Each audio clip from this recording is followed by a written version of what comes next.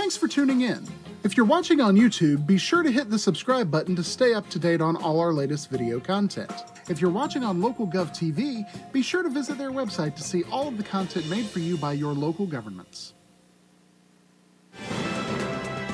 Alamance County is pleased to present the Alamance County Commissioners Meeting.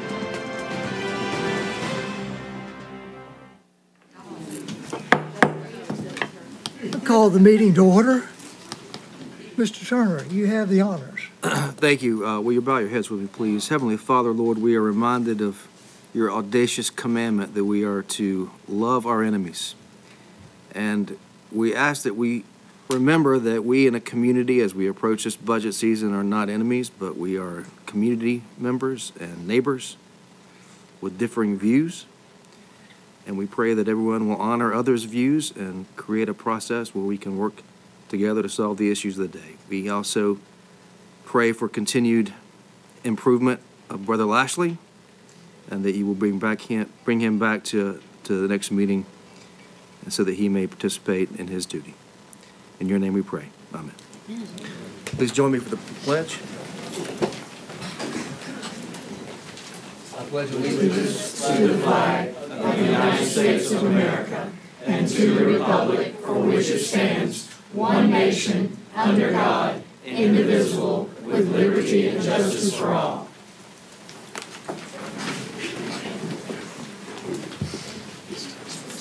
Before I ask for a motion as to the agenda, um, I have some really, really positive news. Um, Bill Lashley called me on his cell phone on the way home for the hospital today. That proves one thing, prayers are answered. Okay, do we have a motion as to the agenda? So move. I'll second. Uh, Would, would the chair consider an amendment to the motion? I, I I would like to amend the, uh, the agenda to add an item of, a- of discussion, which is the Cummings High School bleachers.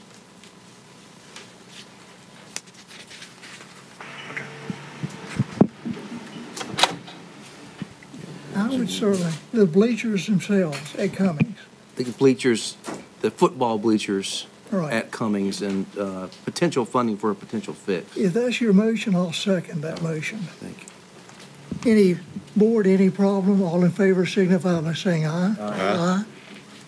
Where do you want to park it? Why don't we, uh, that's hopefully gonna be short. Uh, Why don't we put that in front of, uh, seven A, first item of business? Is that agreeable? Very well. Yeah. All right. Thank you. Okay. All in favor of the approving the agenda signify by saying aye. Aye. Any opposed? Unanimous. Okay, we have two proclamations. So I'm going to ask uh, Ray Vipperman and who else is, Ray, who did you bring? Who are the guilty parties? Got some staff here with us tonight.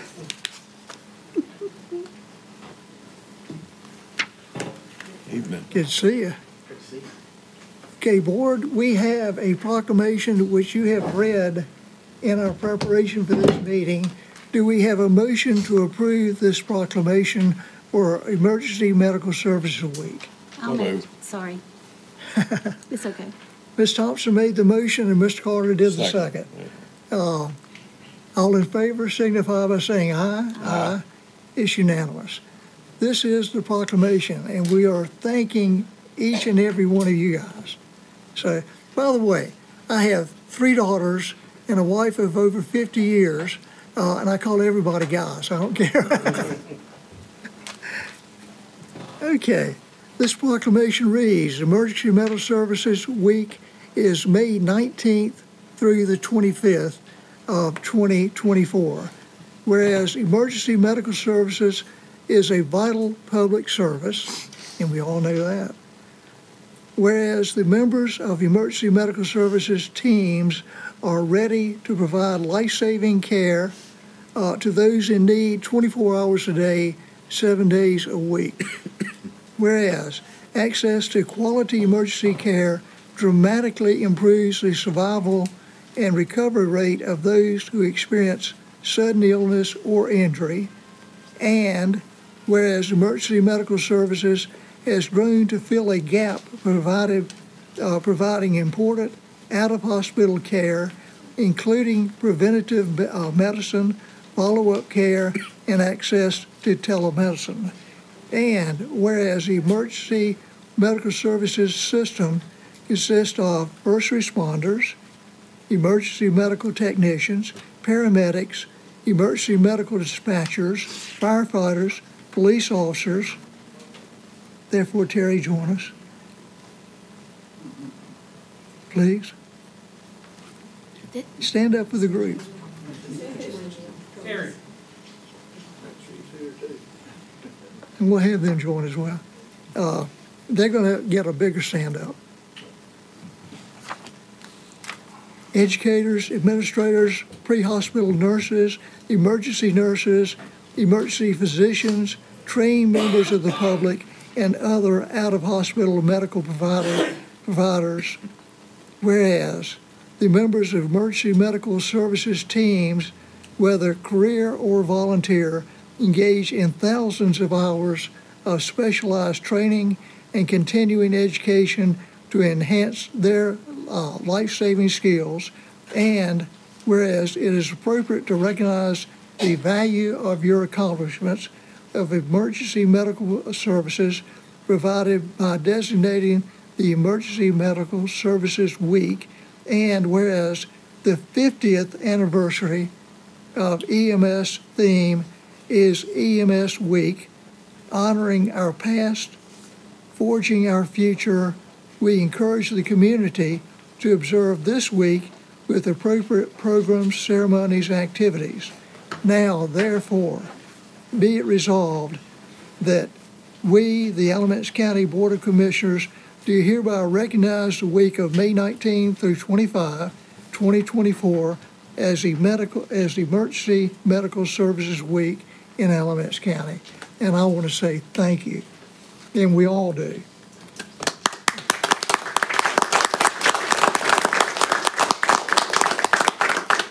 Ray, if you can have the other parties stand up with us. Chiefs, all three, all three chiefs. Okay, you're part of this group. okay. Uh, Ray, I'm gonna Yes, sir. Hand you the proclamation. And Thomas, we're gonna call on you to take a picture, please. Maybe we should just keep it to the actual EMS folks. because All right. If you guys- Here for the next proclamation. Well, you, you get shot twice possibly. Mm.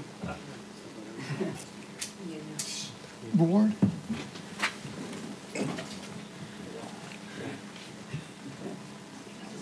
I'm good. I'm good. It's about them. Thank you, Thank you. guys. Thank you, guys. Thank you. Appreciate it. Thanks, sir. Thank you. Thank you. Great, thanks, appreciate it. Good to see you. Thank you, sir. Appreciate it. Thanks, Ray. It's good to see you, buddy. Um, yeah, I'm- it's good to see you. Thank you so much.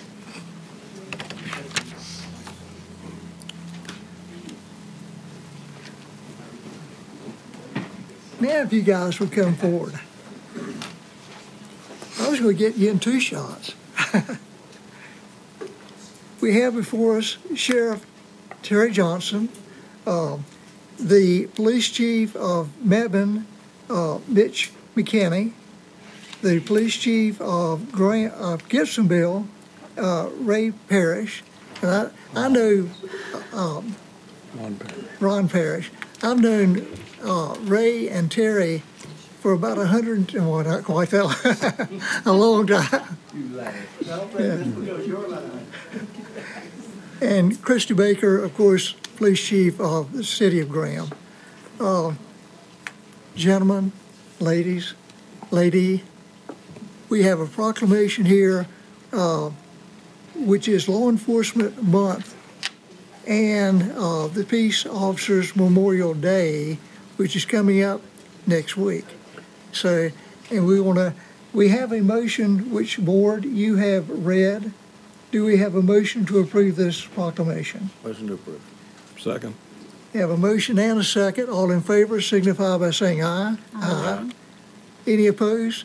You get shot if you oppose. Okay.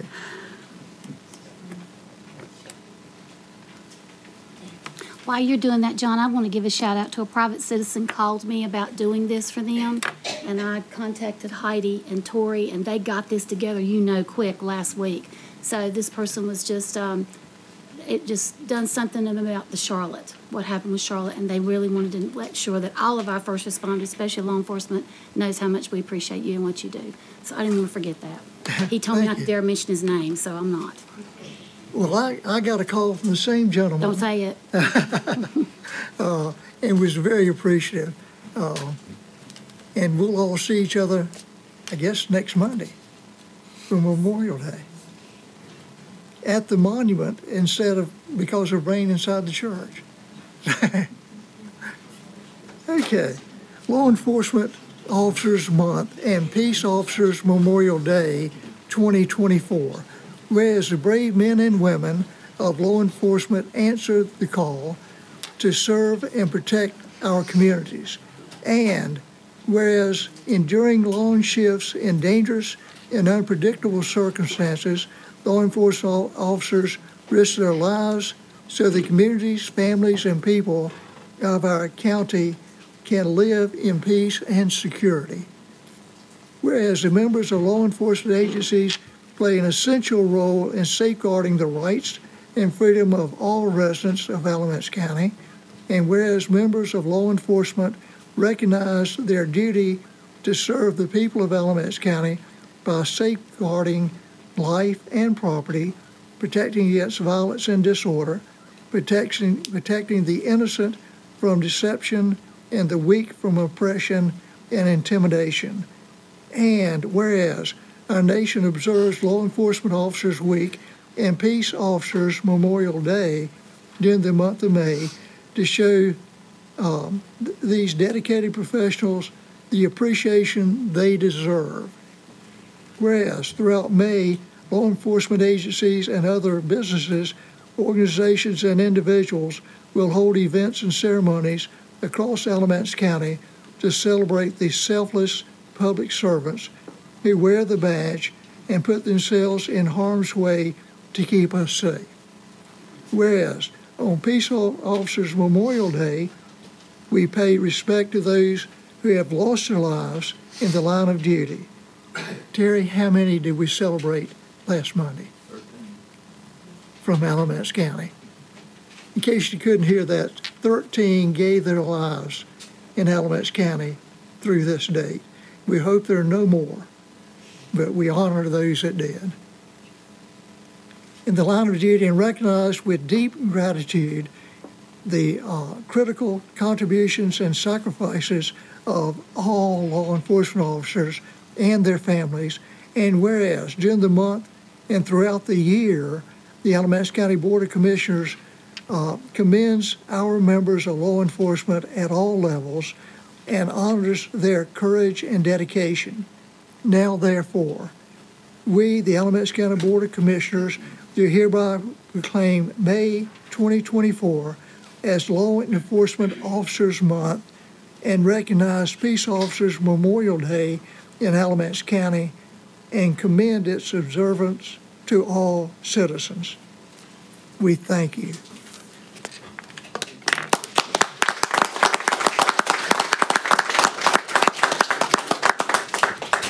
Thanks, It's so good to see you. And Ms. Thompson, I'm going to ask you to join the rest of us. Terry, if you will hold this up. Thank you. Appreciate it. Thanks. Thanks. You don't get off this easy. You have to turn around and get your picture. Good to see you, sir. Oh, Thank you, sir. Ron, appreciate it. Check with me, I got, I'll get you one from the county.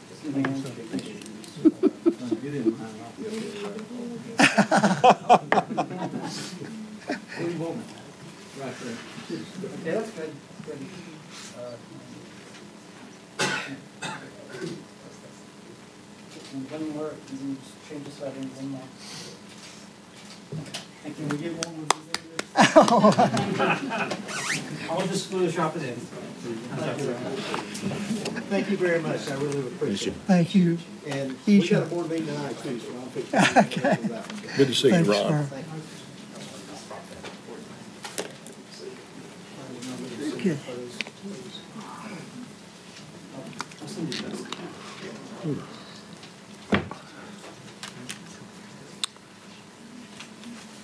Okay, next on our agenda are public comments. Um, Let me spell out the rules before we bring anybody forward. Uh, They are called in the order that they are on our list. Um, You have a total of 30 minutes, and our procedure does not allow us to go beyond 30 minutes. Uh, If we have multiple speakers on the same topic, you can choose to have one of, one of the members speak for you. Um, We have listed 15, and you, you receive three minutes each. The county commissioners are prohibited at this point from commenting about any speaker or the topic of their speech. At the end of our agenda uh, tonight, uh, the public may well hear a, a comment about those that do give a comment, um, but we're prohibited from speaking while you're speaking. You must address this board, uh, not the audience, um, but address this board only. Um, and we are not allowed to answer questions or make comments during your speech. We're going to give you your full three minutes. And they are timed, by the way. And so if you hear the gong go off, or buzzer, or whatever, that was supposed to be funny. Uh, it's pretty bad when I try to tell a joke and nobody laughs. So, but in any event, uh, we're going to give you at least your three minutes. We are prohibited because there's so many speakers going beyond the three minutes.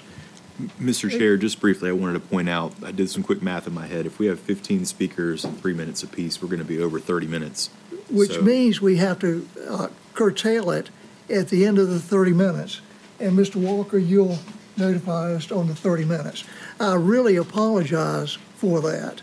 Uh, And if, you- if you guys, uh, yeah, I've got school board budget over and over and over again. Uh, I will allow you guys to have five minutes if you wish to allow one person um, to speak for a group of you if you wish to do that. But obviously, as the county attorneys just pointed out, we will not get through the entire list if each person takes three minutes. Uh, Would you like four or five minutes to decide who's going to speak? I'm, I'm getting head shakes no, so I'll just go down the list. Okay. Mr. Chair, uh, you may want to mention about the public hearing we're going to have, upcoming public hearing where everybody gets to speak. That's correct. And they have to give their address.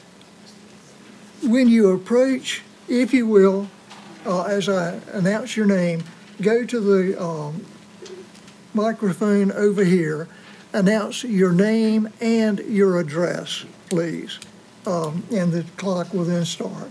Okay. The public hearing, What? tell them about the public hearing. Yeah, Mr. Carter is suggesting that I tell you that we do have a public hearing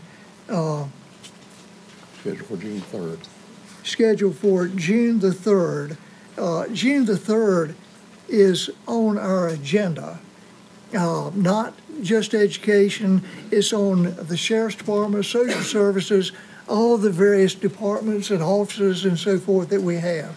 And those, um, you'll, you'll not ha- be limited to three minutes. So some of you may want to not speak tonight, uh, but speak at the public hearing in lieu of that, which will be our first meeting in June. Now, do you want a couple of minutes?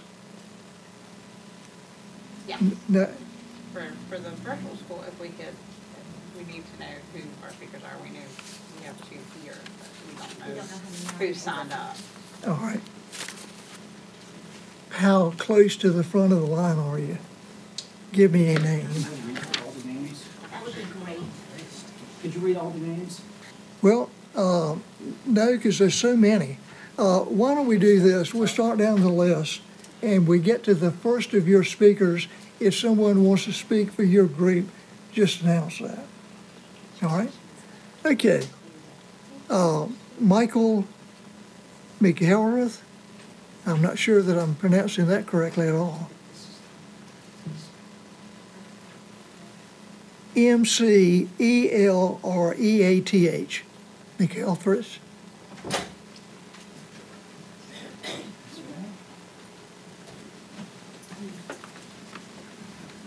Mr. Walker, how many people do we have in the annex? About uh, 45.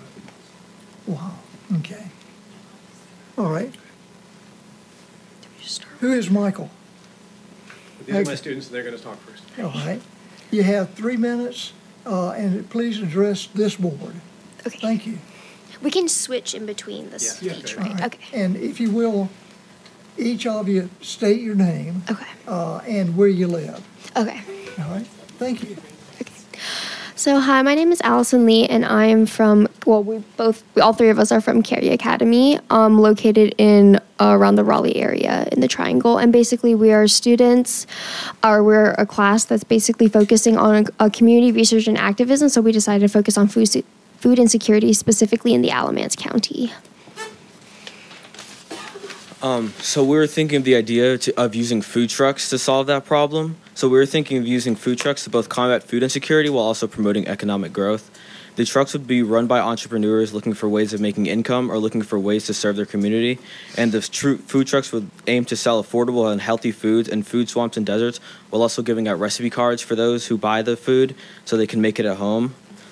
Um, right now, uh, the YMCA in Alamance County actually has a food truck that they um, were donated and don't know what to do with.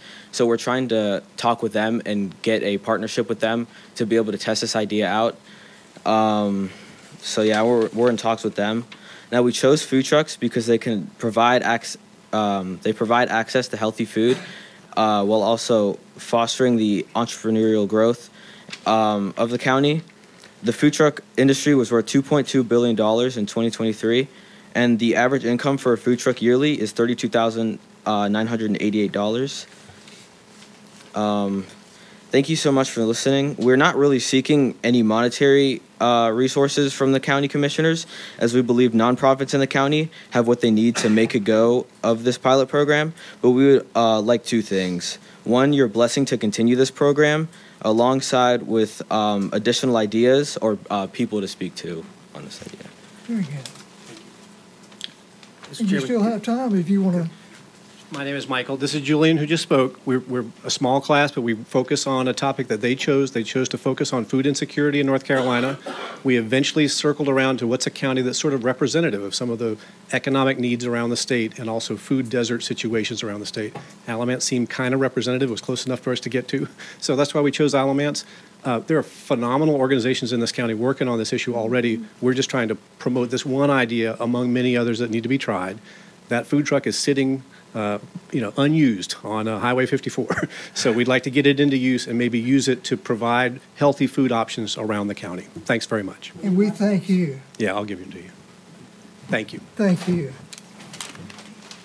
Ed Peralta.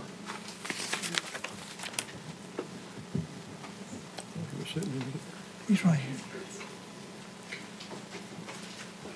Good evening. Good evening. I'm Ed Priola. I live at 747 South 8th Street in Mebane. Come to talk tonight about the Board of Education's plan to slam taxpayers with a 27% increase in their budget. I think we need to question substantial parts of this budget. Uh, Giving in would, to all of it would be a mistake, and here's why. Since Superintendent Harrison's first tenure at ABSS, the- during the 2014 and 2015 school year, student enrollment has dropped 2.4%. The number of ABSS personnel, in fact, during that same period, declined by 4.7%. But let's look at actually what changed. The number of teachers dropped by 4.2%, but the number of administrators increased by 9.8%. And the number of other professionals like social workers and counselors increased 12.3%. If teaching is the core mission of ABSS, why did it shrink the ranks of teachers while swelling the ranks of administrators? Why does the Board of Education's budget preserve those swelled ranks? For example, ABSS plans to continue employing an additional 60 social workers and counselors above and beyond what the state pays for with the state funding. Most taxpayers would reasonably say, well, you know, we can assume social workers and counselors, well, they have the kids in mind. They're working for the kids.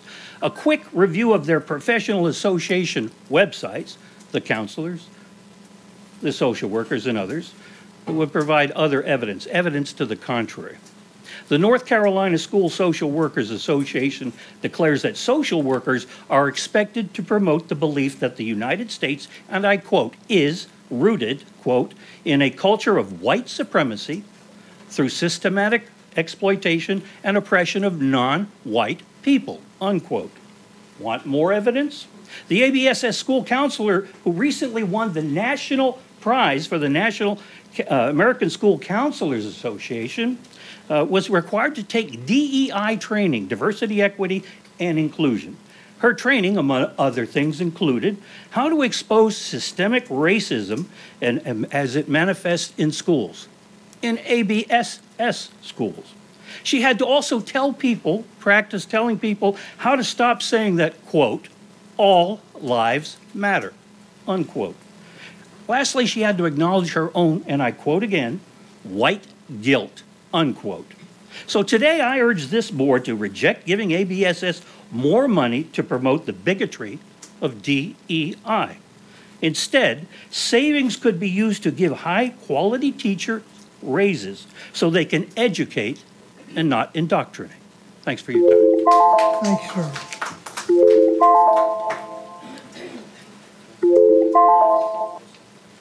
Camille, is it Mickelson?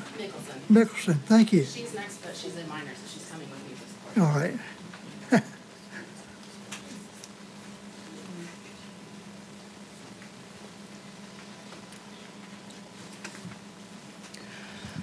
Hi, I'm Camille Mickelson. Um, I'm a parent of students in ABSS, and I live in Haw River, 27258. Um, and I want to talk about the school budget that is going to be proposed to you. I'm we know that it's the state's responsibility to fund education. We know that there's all sorts of reasons why the state needs to step up and provide more funding. But we live here now, and it's Alamance's job to step up for Alamance now. The budget that Harrison, that Dr. Harrison will give you is, quote, fiscally responsible, meaning it cuts back on spending now, but that doesn't mean it's fiscally responsible for the future. Um, it does not meet student needs now, it does not meet teacher needs now, and it will ultimately diminish Alamance County, its economy and business, as well as education. Um, it will not prevent future disruptions like we faced at the beginning of this school year. It will not prevent future mold growth because the underlying issues have not been dealt with. The like surface mold that's been cleared off, but there are underlying issues that need to be taken care of, and we really need to fund a joint building study in order to get all the information and then we need you to step up and fund it. You need to agree to fund it because otherwise our kids are going to continue getting sick from mold that supposedly doesn't exist but does actually exist in schools. Um, we need to increase our investment in our school system if we want Alamance County to thrive. In 10 years, if we continue with budget cuts and forcing the schools to make choices that are not good for students or teachers, I guarantee we will see a diminished economy and Alamance County, County will become, it will be left behind. On the map of North Carolina, no one is going to want to live here if the schools are not good schools and if we don't fund them appropriately. Real fiscal responsibility is investing now for reduced expenditures later, and you will set yourselves up for success if you fund schools now. The full 18 million that the school district needs what what Dr. Harrison's going to present to you is not even what we need. It's below what we need, and it will not serve our students well. Thank you.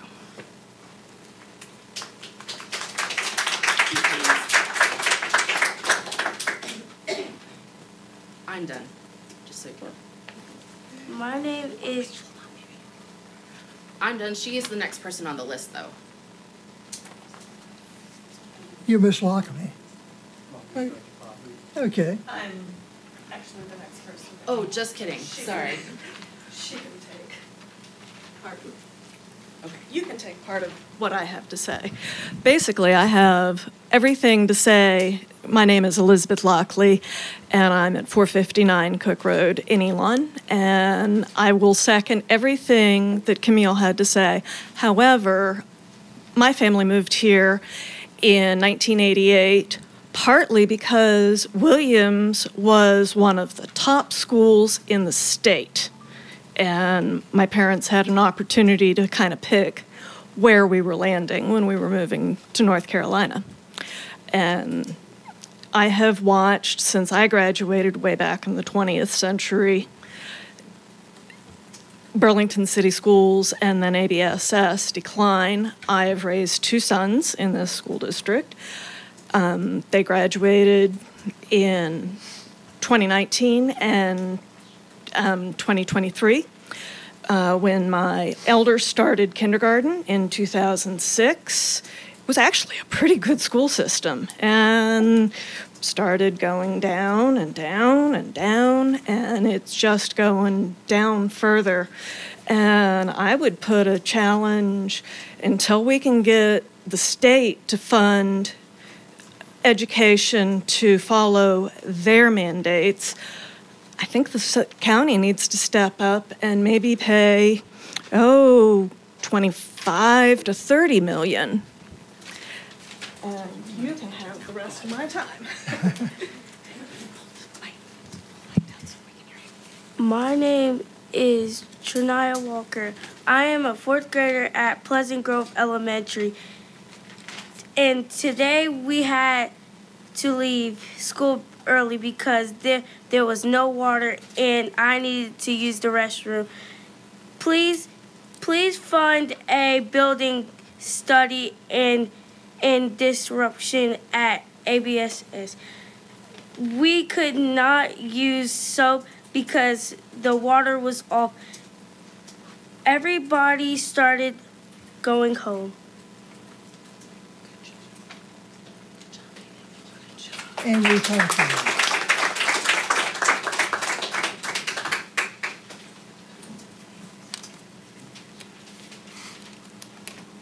Ms. Penix?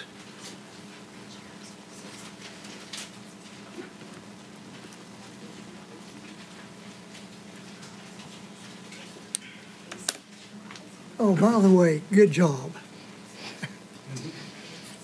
Good evening. My name is Ebony Penix. I am an Alamance County citizen. I don't want to give my address. Um, I am here today because that is my daughter, and true indeed, today the water was off at Pleasant Grove because the plumbing was messed up. Um, not only was their education disrupted, but I had to get off of work because I am a single mother. Um, I can't afford to get off of work. So we are here today asking you guys to fund a building study, a comprehensive building study of all of the in-person schools. Um, when you find out that number, we are asking you guys to honor it and create some generational investments. Um, since the beginning of the school year, there's been a lot of disruptions, beginning with the mold and the leaky roofs after the mold was taken care of. And then you got kids needing to go see counselors and different things of the sort, and they can't go see their counselor because there may or not may not be one, or it, the counselor might be at this school or this school. Um, it's important that our kids get a good education. You only have one time to get it. They got the whole rest of their life to do everything else, but they don't. They shouldn't have to worry about whether uh, there, there's rain leaking in the floor or if they can go to the restroom. Like it really hurt my heart when my daughter told me she had to use the bathroom, and I had to tell her, "Hey, I'm." On a Zoom meeting, and I can't come get you right now. So she had to wait another 30 to 45 minutes for me to get there. I believe that there is a way to to get these schools up to par and they need to be. Um, it's not safe. My son, he has asthma, and it seems to be worse when he comes home. He'll have a stuffy nose. After a while, it gets better. Goes back to school the next day, comes home with a stuffy nose. There's something else in there. And I know the mold has been addressed, but just wiping it off can't be it. So we are asking for that full comprehensive building study. Thank you. Thank you.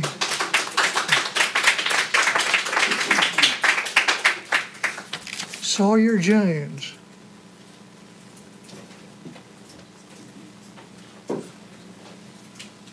I like your first name.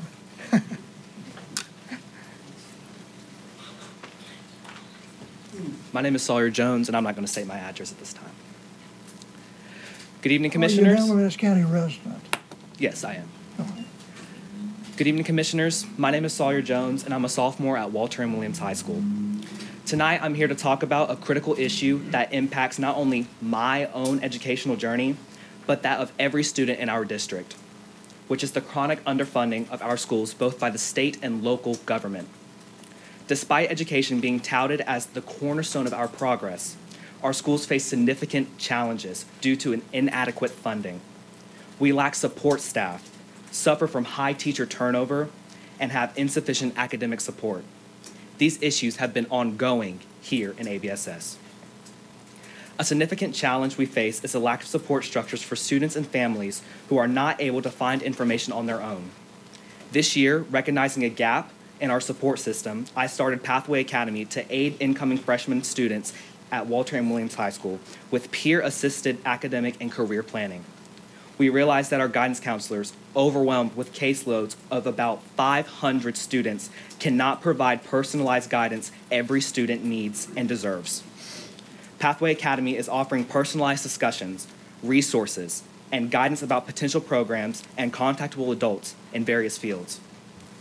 But this program cannot replace the trusted assistance and advice of professionals trained to help students with planning their future. I would like to talk with you about the cutting of the graduation coach positions at the high schools. These coaches are vital in helping students manage academic pressures, plan for the future, excuse me, plan for the future and navigate the complex paths towards graduation. They play a crucial role in reducing dropout rates and ensuring students transition successfully from high school to higher education or the workforce. Without these professionals, many students are at risk of falling behind. At Williams High School, I have witnessed Ms. Smith work tirelessly with teachers and students to ensure they are passing, assisting them in finding tutors, and collaborating with students and their families to ensure constant school attendance.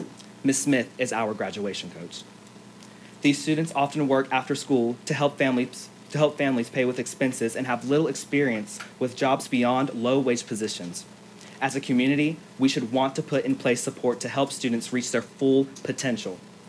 As I have learned in my economics and government classes, an educated, productive citizen provides a strong tax base for the local economy. Please find a way to increase the funding for the positions that are being cut. The chronic underfunding not only undermines the quality of our education, but also reflects a troubling lack of investment in our future. Every student, regardless of their background, deserves an education that fully prepares them for their future challenges and opportunities. Thank you.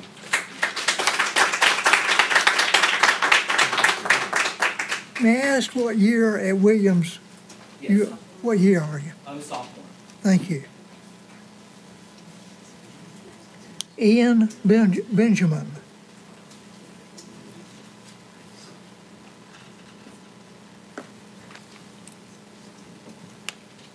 And I'll ask you students to give me your, uh, in addition to the name and address, uh, give us the school and the grade you're in, please. Yes, sir. Thank you. Good evening, esteemed member of the County Commission. Uh, my name is Ian Benjamin, and I'm a senior at Walter M. Williams High School. I also as well live in Burlington, North Carolina, area code 27215. Um, it's an honor to stand before you guys today to discuss an issue that not only impacts my peers, like Sawyer said, but also myself and our entire community. Our school system is chronically underfunded. Um, my passion for education has driven me to pursue a career as a math teacher. This fall, I'm going to be attending UNCG, and um, my commitment to education does not end with my own academic ch- achievements, but I do want to return to Williams High School as a math teacher because I found that that's my passion, that is my dream. But I can't return without proper funding for the school. Um, thanks to the efforts of our school system and support from the community, every student at Williams High School now has a one on one device that they're able to access the internet with. Um, however, having these tools, such as our Chromebooks, is just the first step. we need to learn how to effectively utilize these technologies to enhance our learning. to integrate this technology effectively across all subjects, we need dedicated training for both students and teachers. Our teachers are eager to help us succeed, but require further support and professional development to guide us in using these digital tools daily. This will ensure that we are not just tech savvy, but also competent and efficient in a digital first world.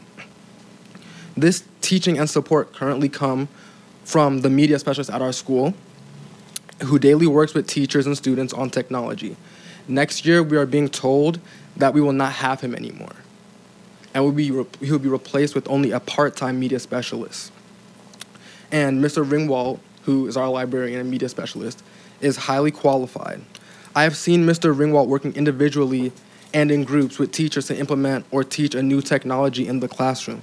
I have benefited from this that year in my honors economics and personal finance class. Um, Mr. Ringwald and my teacher worked together for one week to guide us into finding information to write a research paper and make an annotated bibliography. This included direct instruction from both Mr. Ringwald and my classroom teacher as they walked us through queries for researching our assigned subject in macroeconomics and then helped us determine credi- credible articles and how to use and cite them. This will be invaluable to me as I begin college this fall and enter programs that will expect me to have knowledge, have this knowledge to be successful. Therefore, I urge you to prioritize educational funding that supports both tech- technological tools and the professional development of educators. Please keep the media specialist a full time position at schools. The students and teachers need the support and assistance.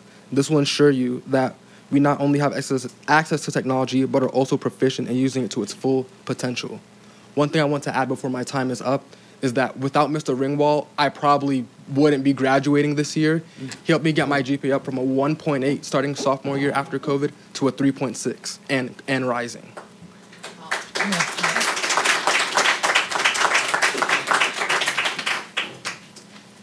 Is it Romez Blunt?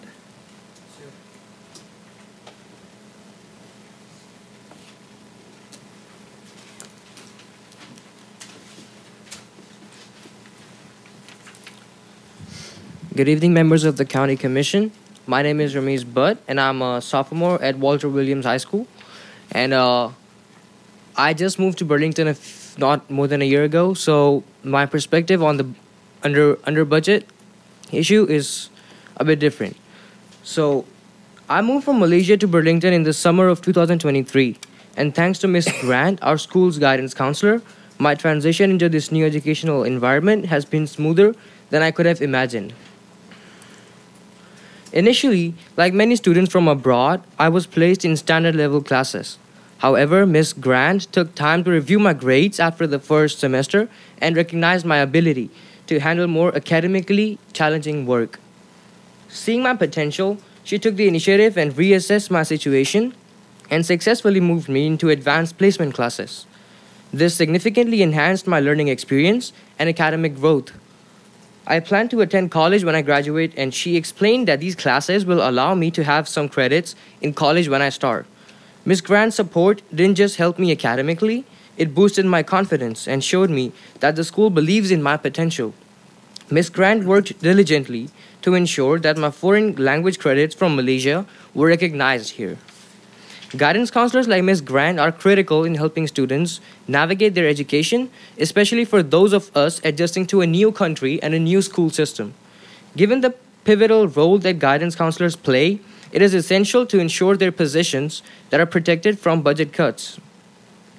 Reducing the number of counselors not only increases the student to counselor ratio, but also limits their ability to provide personalized support like what I received. This could have this could leave many students feeling overwhelmed and unsupported, negatively impacting their academic performance and overall well-being. Therefore, I urge you to maintain or increase funding for our school's counseling services. Investing in these services is investing in the futures of students like me. With adequate support, all students, especially those transitioning from different education and cultural backgrounds like myself, can thrive. Thank you very much. We thank you. Lilith Stewart.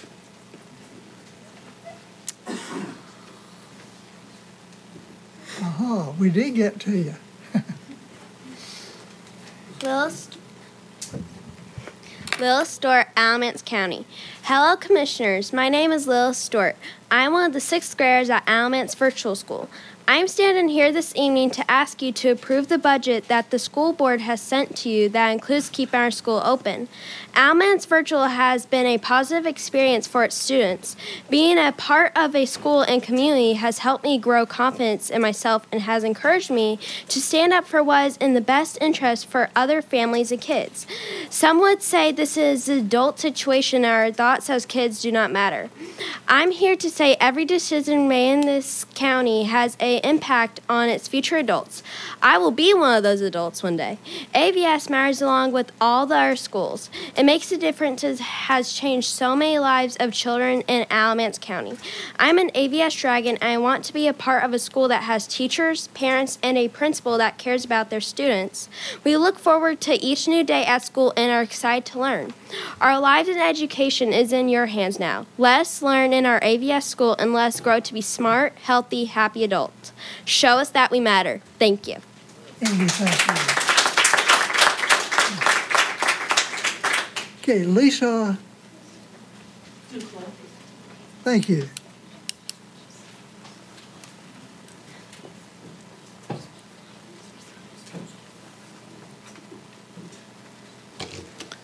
Good evening, Commissioners. My name is Lisa Duclo, and I am a teacher at Walter Williams High School.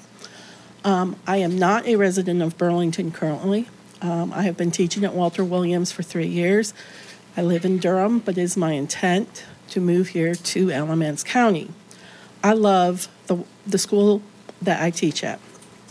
I teach economics and personal finance. I teach honors levels and I teach standard levels. And these classes are composed of very different students with very vastly different academic abilities and future aspirations. However, regardless of their path in life, it is undeniable that mastering reading and writing skills is essential to their pursuits after high school. Despite their diverse futures, many of our students, including those in the advanced placement and the IB program, struggle with writing and comprehensive reading. Research consistently demonstrates that integrating reading and writing activities into core subject classes is essential for enhancing student literacy skills and writing skills across the board. This cross curriculum disciplinary approach encourages students to interpret and synthesize information in varied formats, much like they will experience in the world where they will be working. It is fundamental to developing proficient readers and writers who can navigate the academic and the real working world. This year, a group of teachers and school specialists at Williams High School has been actively pursuing a strategy of interdepartmental writing that is scheduled to be used next school year. Teachers, along with myself, have been working with students this semester to pilot what we are planning to initiate school-wide. This initiative requires significant time and effort from everyone involved to ensure that we, as a school, are reinforcing consistent methods of instruction across the different departments within the school system and across different grade levels. Our instructional specialist, Dr. Webb, and our media specialist have been instrumental in this effort. We have been told both of their positions will not be there next year. They are crucial in helping us implement and effectively main this school wide approach to writing. The strategic alignment that they facilitate not only enhances our curriculum, but also ensures that our students are better prepared for the challenges ahead. The proposed cuts will directly impact our students and their learning experiences. I am here tonight to ask you to please ensure that the funding for the specialists at the schools continues so that the teachers can do their jobs. Thank you. Thank you. Jennifer, is it Galls?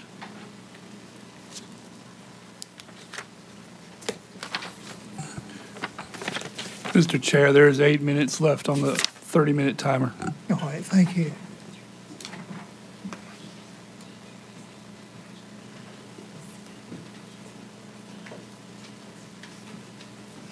Hey, um, my name is Jennifer Galls. I live at 2854 Gibsonville Ossipee Road, and what I'm going to be discussing probably isn't something that you want to hear about. I would like to uh, discuss the issues that we are having in our schools. It is believed that my 13-year-old child was recruited as a confidential informant by the SRO. My, I have another child who was denied IEP services for six years video upon request. I have Jason Sawyers making that statement. Um, my youngest, there was a principal who kept trying to get her in a office by herself. Um, the bus driver would take her back to the school even though I was at home. I contacted central office. There was nothing done. I, in regards to my son's IEP, I contacted the board several times, sent emails to people, and all I got was shuffled around to this person, that person, till he basically graduated without receiving anything. My other son, they thought that he might benefit from services, but I wanted to get my other son straightened out before we started the whole process for another child, as I am dying. Um, and they held the conference without me and stated that I didn't care. My other, my daughter, the one that we believe was solicited by the SRO, went on to, I mean, she graduated early, top of one of her top of her class at AVS. My children all grad are at AVS and graduated from AVS, as I didn't want to risk my youngest child's safety because it didn't feel like it was a concern. We have more officers in our schools than at any point in history, and I had to worry about my youngest child going to school. I've contacted numerous people, including the county manager, and I was told that that wasn't something they really handled or addressed. I contacted Senator Galey, and despite numerous articles regarding her interacting with the school, she stated that was not her problem. So that is why I'm here tonight. I don't want to be here. I don't want because I know there's so many employees that go to work every day in this county and they're not paid their worth. They aren't. But I feel like there are a big number of employees in this county who are taking advantage of the nepotism that is running rampant. Um, my children and I have literally spent the last few years being stalked by an individual who's a relative of Mr. Johnson. We contacted the sheriff's office repeatedly, and he did nothing. It was discovered that his cousin, Judge um, Samantha Hyatt Cabe, is believed to have forged the signature of another judge in Orange County Thursday. That's when I spoke to Judge Merle about this. Um, this individual had even hacked into my Google account and watched our every move for five years. And Deputy Brinkley with the Sheriff's Department stated that there was nothing they could do, despite that's a federal crime, and this individual was caught in my Google apologize. I- Thank you. To be fair to It's a lot. Is I have 23 pounds of documentation, not including the digital, and I've literally reached my wits' end. I'm, I'm sorry. Thank you. Thank you for listening. Matthew Townsend. Well, um, Matthew is approaching, remember, we cannot comment as county commissioners until the county commissioners comment period. Um, and I suspect, um, at that point, there will be comments. I would encourage you to stay, stick around. Yes, sir. Good evening, Honorable Commissioners. My name is Matthew Townsend. I live in Mebane at 2025 Stonebrook Drive. With my fantastic wife Susan, who's also an educator, We've been here for 25 years. I was a band director here starting in 1999 at Eastern Alamance High School. And uh, to, as things got more expensive and wages didn't go anywhere, I took on a bus route in the morning, took on a bus route in the afternoons. So I'd get up at 4:30, drive a bus, teach all day, drive a bus, go home, grade papers, and just did it till I was weary to the bones. I went over to Orange County, where I got the exact same paycheck to just teach. And then I went to Durham County, where I got another $5,000 more a year than Orange County paid, and I could, you know, go out to dinner. It was quite nice. And anyhow, I've just come over. I still live here. I love this place. I love the teachers here. I love the schools here. Last year, over 10,000 North Carolina teachers walked out of the classrooms. 10,000. Each of those is a heartbreaking story of disillusionment. Retired teachers leaving, giving up, new teachers who invested enormous amounts of time, energy, and money just walking away. To cope, our schools have hired 11,000 unlicensed teachers. And Alamance County has hired a lot of unlicensed teachers. Alamance County has also struggled to even hire teachers for empty classrooms. Now, I want to be clear the cause of the crisis is not a mystery, and the cause of the crisis is not in this room. The cause of the crisis is the North Carolina General Assembly not living up to their responsibility. There's a constitutional mandate to provide for a sound basic education, and their staffing levels one guidance counselor for a school with 600 people, two teacher assistants for three kindergarten classrooms, a giant high school with two assistant principals. Those are not the staffing levels of a school. A school system in 2024 is not a school system of 1984. We have expanded roles and expanded responsibilities. And when Alamance County sends 70 of these positions off, the work of the 70 positions does not disappear. The work of the 70 positions gets inherited. When you take the media specialist at the middle school and you say, now you're going to be at the middle school and you're going to be at the high school, and that media specialist is the softball coach and the testing coordinator and leads a club, none of those things go away. If that media specialist had before school and after school duty, those things don't go away. They get piled on to the other teachers. And those teachers do what I do. They're going to get weary, and your best ones are going to walk away. Alamance County deserves great teachers just like all the other counties. And I've taught in Guilford County, Alamance County, Orange County, and am now in Durham. We have a fantastic community that's deserving of investment. The question is, how do we pay for it? Ah. And we thank you. Appreciate you guys.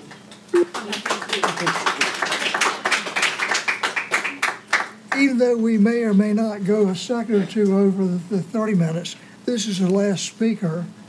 So board, can we give the full three, three minutes? Everybody Yeah. agree? I'm good. Thank you. Um, Bristol, is it Spurgo?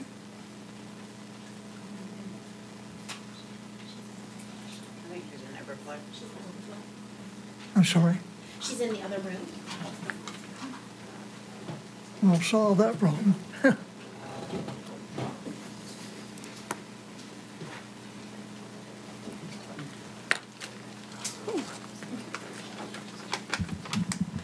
right. Sorry, I'm nervous. All right. Hello, my admired school board. Uh, sorry, I messed up already. Hello, my uh, hello, my admired co- uh, county commissioners. I am Bristol Spargo, and I'm an eighth grader from ABS. Uh, for starters, I didn't think I. Uh, well, no, I can't say that because I thought I was speaking to the school board, so I'm really sorry. Is the mic on? Is it okay if I just read Bruce, it? is the mic off over there? It's on. Do your thing. Okay. Okay. For starters, I didn't think I'd be here once more after my speech in February and after the few meetings over budget. I figured this ultimatum over and done. But it turns out there's still talk of a conclusion upon the AVS virtual school. As I already have, I can't come back, uh, come back and speak upon my story, nor would I be comfortable go to go into depth regarding any moments that happened during those times. However, I can express my full adorance and devotion to the school. Not only is AVS a safe, uh, safe space for students my, like myself, others, and definitely could be to those on the wait list. And while it took me a while to grow close to the people I can call my friends, I cannot find the words to say how thankful I am to have finally spoken to my classmates this year, grow close with them, and form strong, both strong and healthy relationships with them. The students are not the only. Uh, the students are not only one of the most and lovable things, though. The teachers are incredibly accommodating and amazing. I've had my math, science, and social studies teachers by my side since the beginning, and I can say with certainty I will not miss only the three of them, but them all. Since since the beginning or not, uh, they helped me and they were there for me. They have all been incredible to me, and I couldn't ask for a better middle school teacher lineup because they are all uh, perfect to me. Overall, I love everything. Uh, I love everything about and everything that is ABS. It, and it ending would mean leaving this all behind. I'd hate to not see my friends every day next year, and the sorrow I'd feel for my teachers no longer being a part of what they love most, most online or not. They do they do their jobs and they love them and they do them perfectly. I've had growth of my grades and GPA overall, and it's because of ABS and the safe spaces I could be at. My sister's house, my house, anywhere, and I'll still be safe, and that's what I love most of all.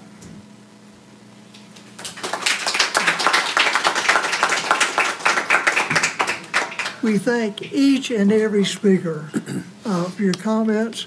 Um, Williams High School, you need to be proud. So- And pass that on to your other fellow students. Um, Mr. Chairman, Yes, sir. might I raise a question? I know a lot of you may not stay in the, in the room until we finish this meeting and until we have our opportunity for comments. And I do want to ask a question of uh, our county manager. Um, As of this afternoon, when, when we last spoke, we had not yet received a budget, am I correct? Well, what we received on Friday evening was their PowerPoint presentation, which I think they're intending that as their budget request. But still no budget. That's all I received was the PowerPoint slides. I just wanted to clarify that references were being made to a budget. We don't have a budget from ABSS as yet. That's When was the budget due? It's due on May fifteenth, according to statute. Just to comment, uh, North Carolina General Statute 115C 424 requires the school system to provide the- a written budget to us no later than May 15th, which is la- this past Wednesday, along with uh, reports about the individual schools, the grade um, performance for each school, and which schools were failing. Um, As of this minute, I have not received anything. Ms. Manager, have you received a budget, written budget, or the other materials as required by the North Carolina General Statute? Okay, we just don't have it. Uh, Okay, we have the consent agenda. Do we have a motion? Motion to approve. Second. Any comments? All in favor signify by saying aye. Aye. Any opposed? It's unanimous. All right, at this point, um, we're going to take up the topic that was added to our agenda. Mr. Turner, you want to? Thank you, Mr. Chairman. I had a, a question about, um, and perhaps some, generate some discussion about the Cummings High School bleachers. I know that's been a topic of conversation, and I noticed at the ABSS, ABSS's last meeting, uh, Mr. Hook said that there was a plan that they could, they could fund that in time for football season, but they had to have those, uh, approval for the funding by June first. And there's no PAYGO left in this fiscal year, and I know that there's going to be an infusion for ABSS capital uh, spending, but that's not going to happen, I think, until after the end of the fiscal year, too. Uh, But there is about $1.7 million left in bond funds, which could be used for that and could be used to accelerate the, that, um, that fix so that those bleachers could be ready for football season. Um, And I just had a question uh, for Mr. Baker about whether, uh, well, I think there's some concern about whether the fix is adequate or whether there should be, we should wait to do a fix that's more comprehensive. And I don't know if Dr. Harrison has any uh, thoughts on that particular issue. Uh, But, but I know that if we're going to make a decision to fund something for football season, we need to make a decision before June 1st. And so here we are. Um, Do you have a, Mr. Baker, a recommendation for Mr. Hook about what it is that they'd like to see? So that's correct. There's, there's two options. Um, the only one of those could get done before football season, which would be to temporarily repair the bleachers or, or to repair the bleachers. As our old bleachers, they were handed from, down from Duke University about forty years ago. We Wow. don't really know how long they were used, uh, prior to that time. So they, they are in need of significant repair. That's three hundred and twenty-five thousand dollars to repair the foundations, to bring them up to the safety codes that they need to be. Um, Mr. Hook told me it was one point one to completely replace the bleachers. Um, I think that would be a reasonable expense, but that could not be done by football season, uh, this year. So it's a choice to be made about which direction we want to go.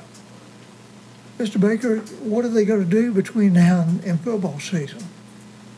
So the supports of the bleachers themselves just have some, some rust and need to be shored up. So they are going to add uh, pieces of metal to the angle iron supports uh, to make sure they're strong enough to handle the crowd there.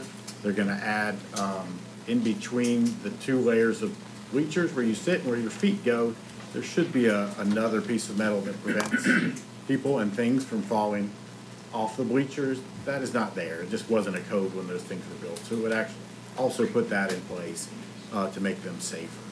So that's, that's what we need to get it safe for the fall. Now, you folks out in TV land and in the audience here, we county commissioners cannot make the school board make changes. Uh, We can encourage it, we've talked about it several meetings, but it's up to the school board to make those changes. We give them the money, and that's as far as we have control. Oh, I'm sorry, Sean. Ms. Thompson? I didn't want to interrupt you. Go ahead. I, I want to speak after you. I'm sorry I interrupted you. No, no, you're, you're good. Okay. Um, we're talking three hundred and twenty-five thousand dollars. I know this is really petty, but this is how I feel about this. It is a Band-Aid situation, and I'm not gonna support a Band-Aid situation. If we put up three hundred and twenty-five thousand dollars, we, the citizens, everybody that belongs to these school systems, and, in a year or two, we're needing more, more done to it.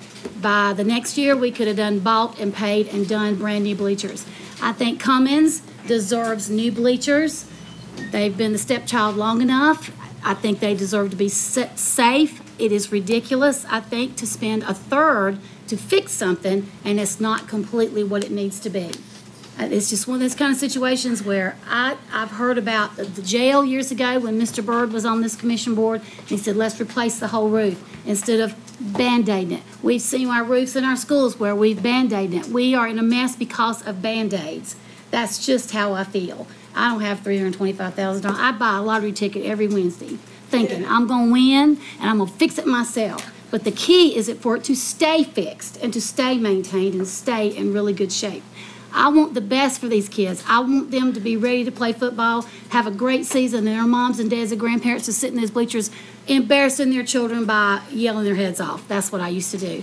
But at the same time, I don't want us having to come back in another year and asking for this again. You saw it firsthand. You went under the bleachers. You showed me pictures. I've seen a lot of comments this morning. I got other pictures that I'm going to talk about in my board comments.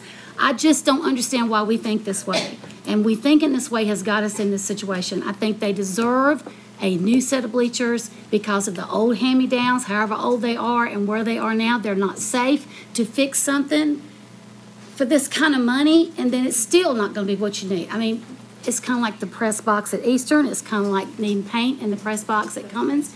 Everywhere you go, we need to fix something, but we're just Band-Aiding it.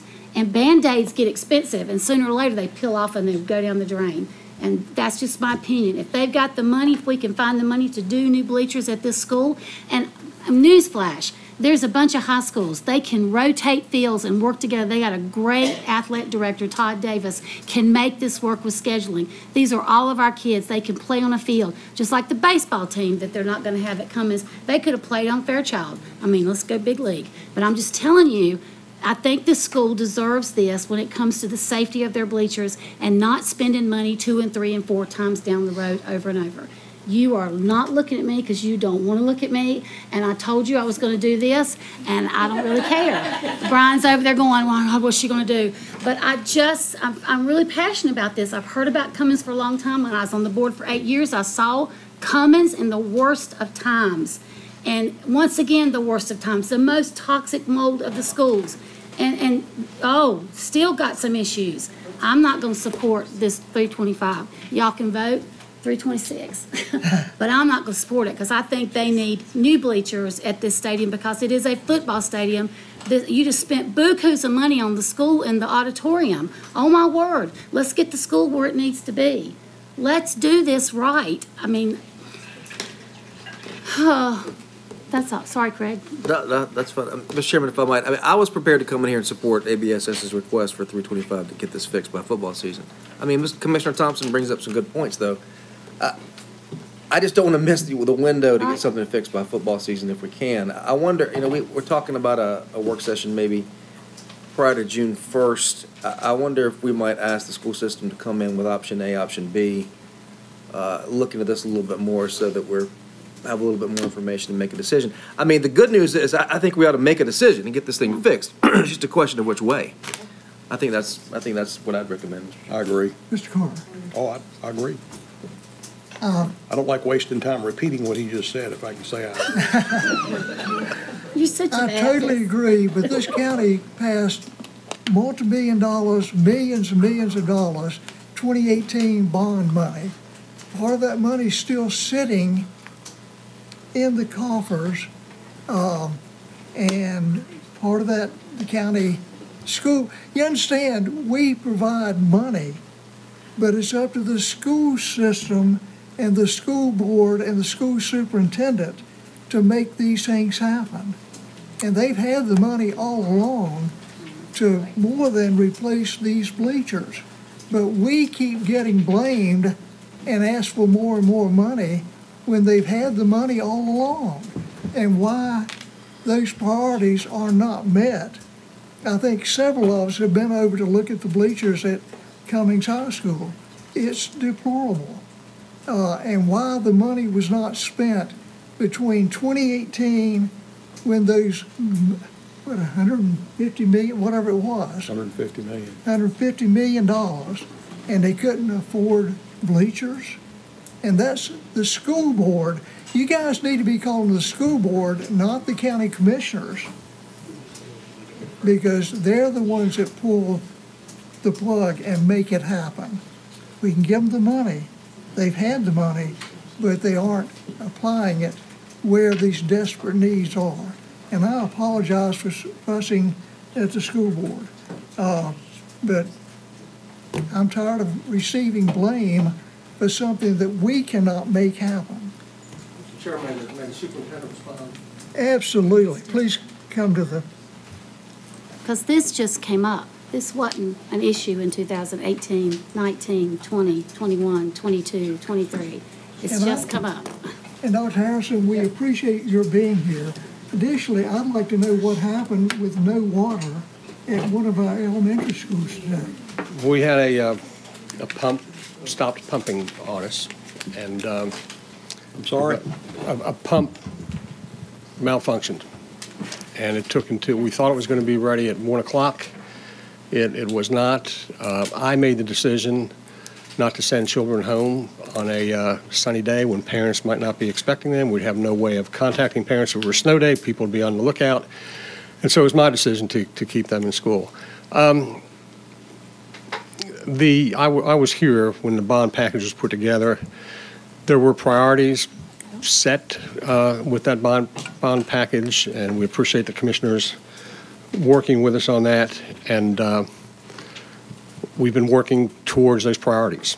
Uh, The bleachers at Cummings were not part of that, uh, that set of priorities. So things have come up. $150 million is a heck of a lot of money. But, but things do happen as, as well. Um, I think we're on the way to spend this 325, and I appreciate your looking at the uh, en- entire amount, uh, but something would have to be put aside, and I think that's for us to, to decide together. I, I just, I don't think that, that blame gets anybody anywhere. I, I think you, some of you know me from my last tenure here that uh, I don't think I ever stood in front of anybody and blamed anybody for anything else, and, and for anything, and I, and I took responsibility. If something was messed up with, with getting the budget uh, to Ms. York, I'd take full responsibility for that. We got the PowerPoint uh, to her on uh, either the afternoon of the 14th or the morning of the 15th because we knew that we had to get it uh, on the 15th. I think there was a budget meeting on F- February 25th. I didn't get it until Friday afternoon. I did not receive it on Wednesday or Thursday.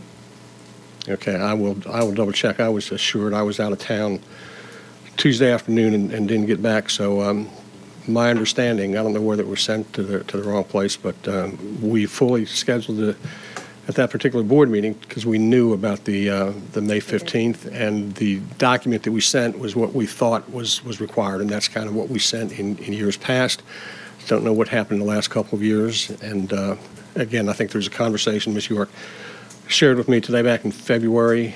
Uh, I wasn't privy to that conversation, and, and a lot has changed since then. Uh, Rayvonda Johnston is our Chief Academic Officer, has been standing in as our Finance Officer as well, and uh, she's been doing yeoman's work, and uh, she's new at it, and uh, thought, we thought we were doing everything the way we needed to, so I I apologize for that. Um, So that's just what I, I wanted to share. We, um, you know, and in the future, I'd ask, reach out directly to me if, if something doesn't get where it's supposed to be on time. Ultimately, it's, it's on me, and, uh, and I accept that. Um, I know we have to come to you to, to get the bond money released. Uh, From what I can tell, I, I mean, I've visited the, the new school, I've visited Southern, I've visited Western, visited Eastern, and I've seen the work of that bond, and there's, that's, that's an awful lot for you guys to be proud of. And, uh, so I think that money was, was well spent. Uh, I think the partnership that we had with the county, that uh, funding it through you, saved us a heck of a lot of money on, on sales tax. If we would have done it on our own, uh, I think we ended up with an extra couple of million dollars, if I'm not mistaken. So I think that's kind of the example of uh, what we can accomplish when we work together and, and don't try to point fingers at one another. We're all in this together. Any questions for me? You've got me up here. I'm, I- I've used my three minutes plus. Would you uh, check in, that one of the speakers talked about um, an SRO using a student and whatever. Um, I found that a little tough to believe because I know many of your SROs and they are top-notch people. Yeah, I, I wish that would be brought directly to my attention. I don't believe um, I was ever contacted about that. Uh, We have a great relationship with the sheriff and the chiefs.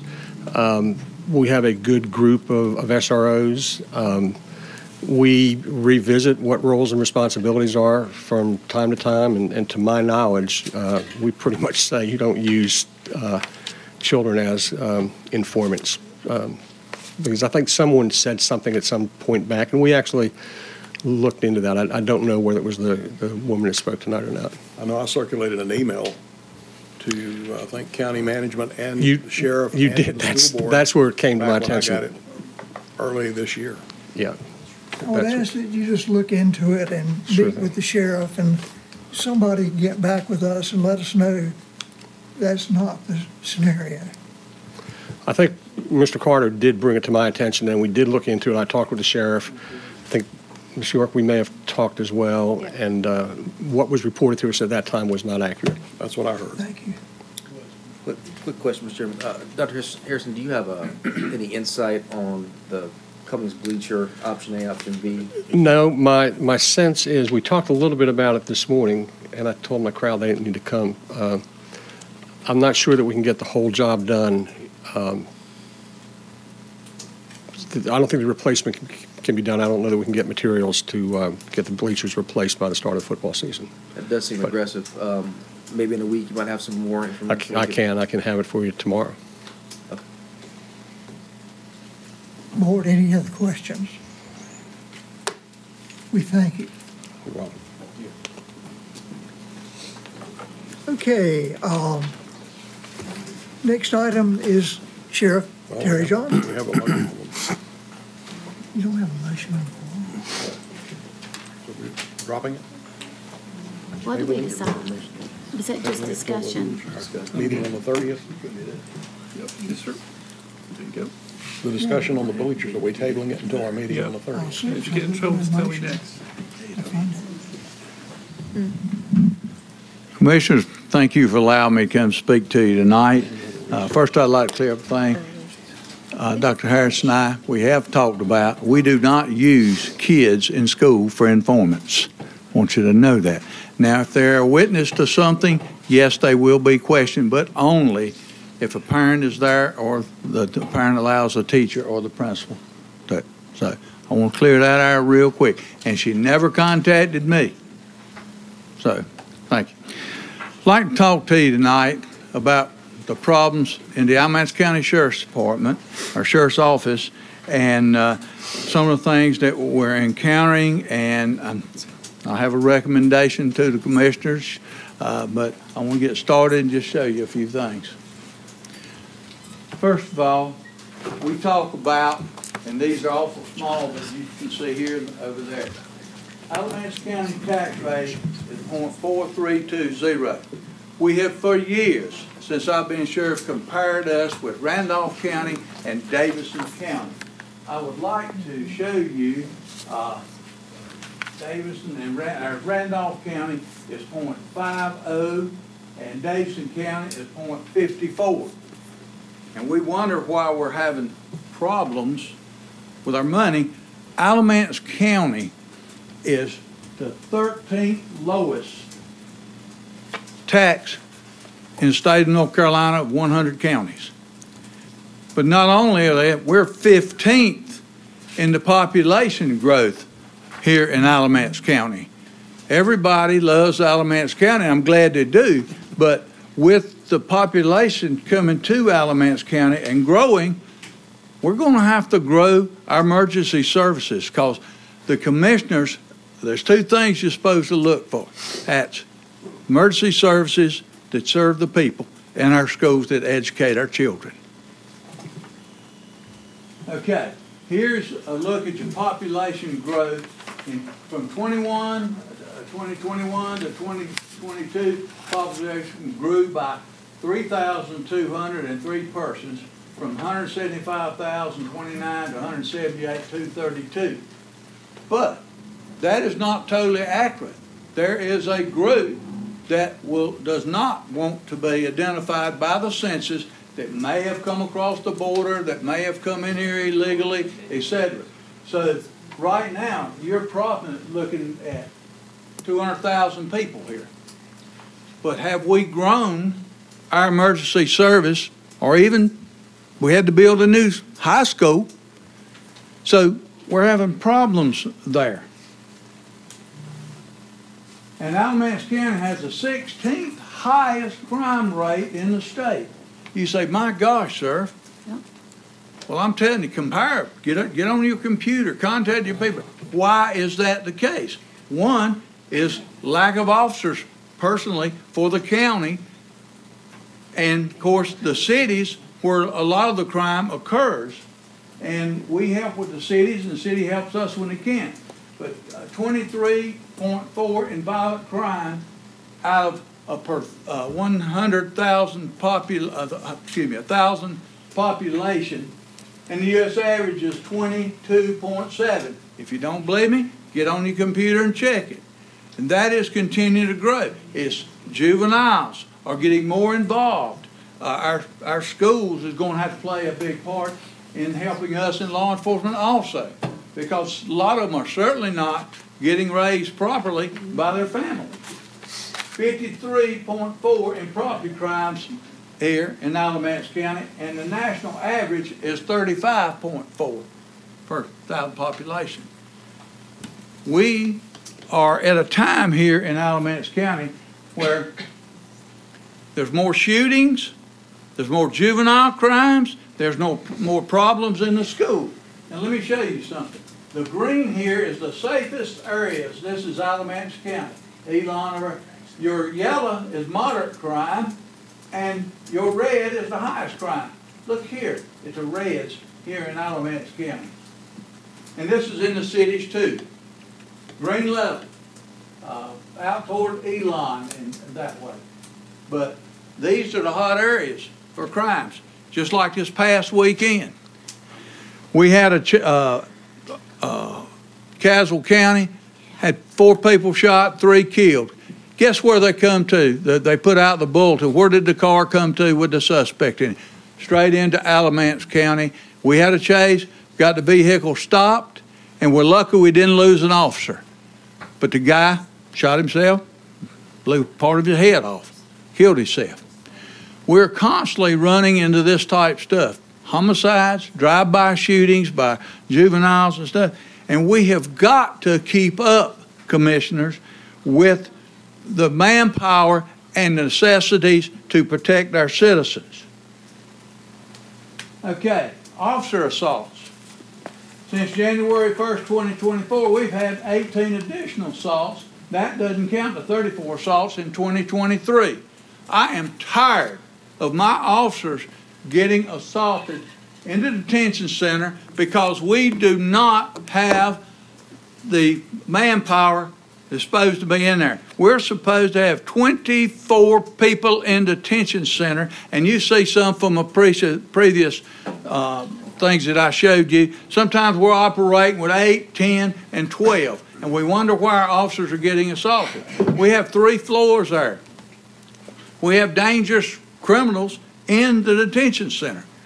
And I do not want to have to bury one of my officers because we did not step up the plate and fund properly what we needed in that detention center. And I know you guys have an awesome responsibility, but for two years now, I have been raising Cain about it.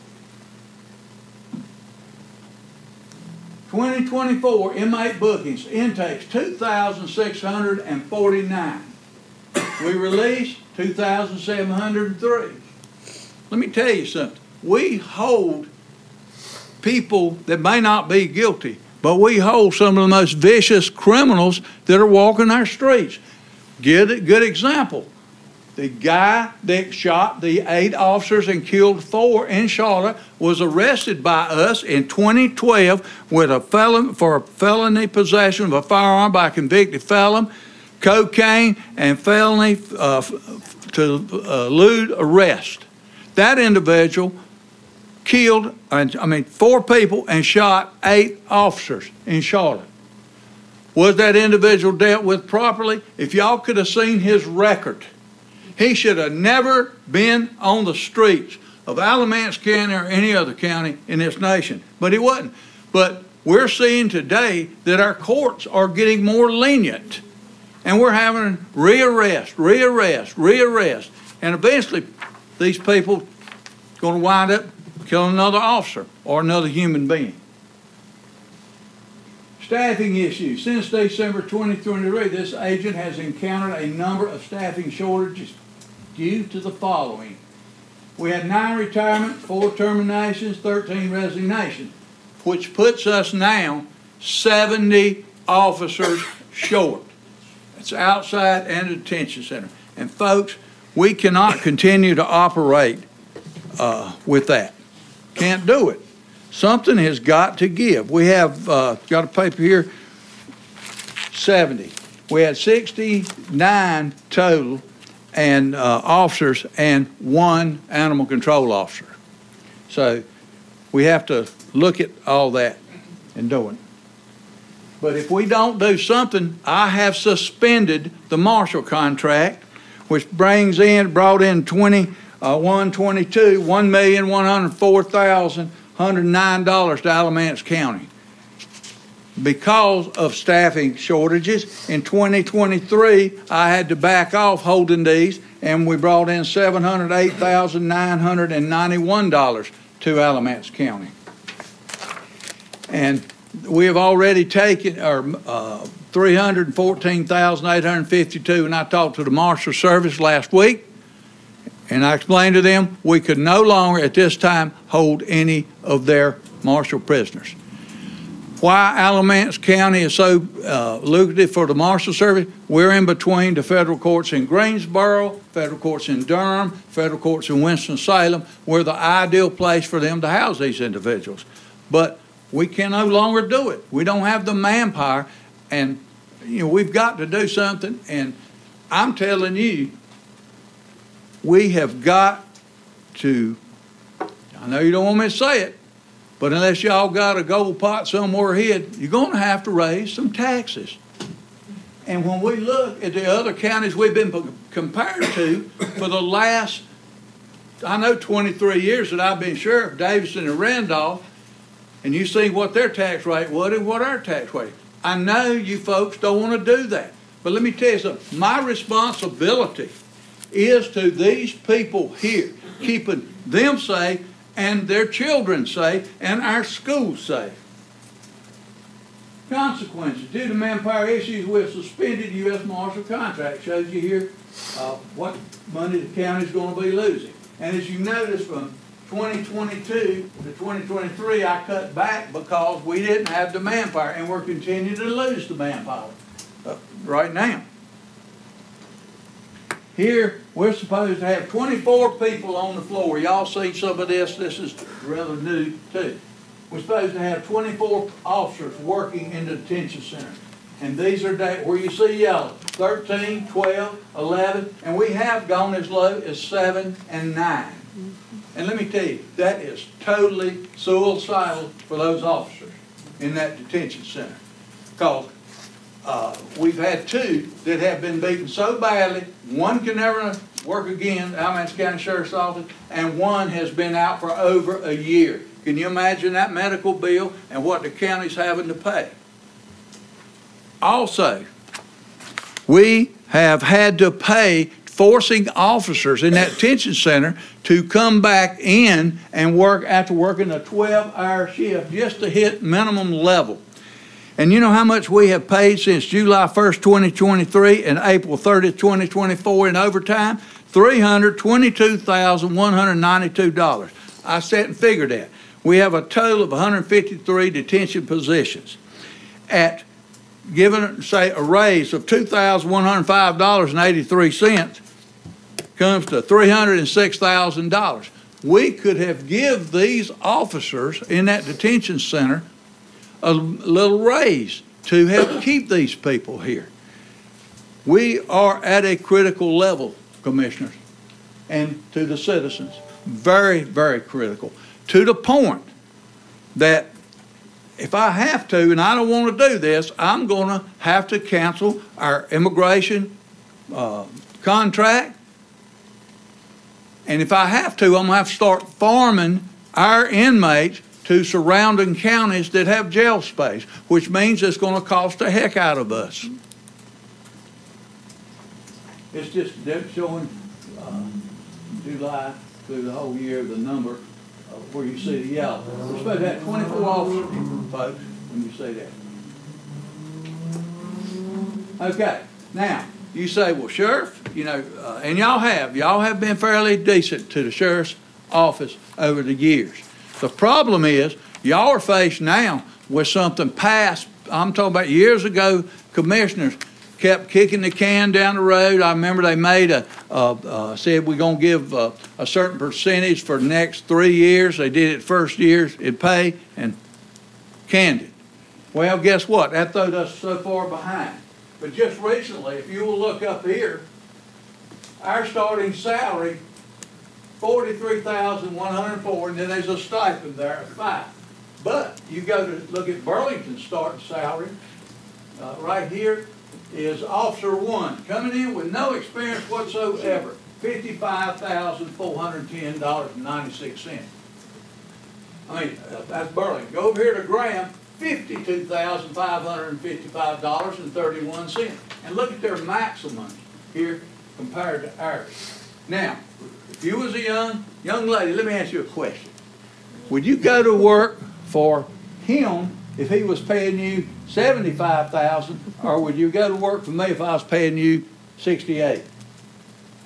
Yeah. Uh, that's exactly right. And, and, and that is exactly what is happening, guys. We have got to get compatible. I'm talking about all emergency services in this county, not just the Alamance County Sheriff's Office.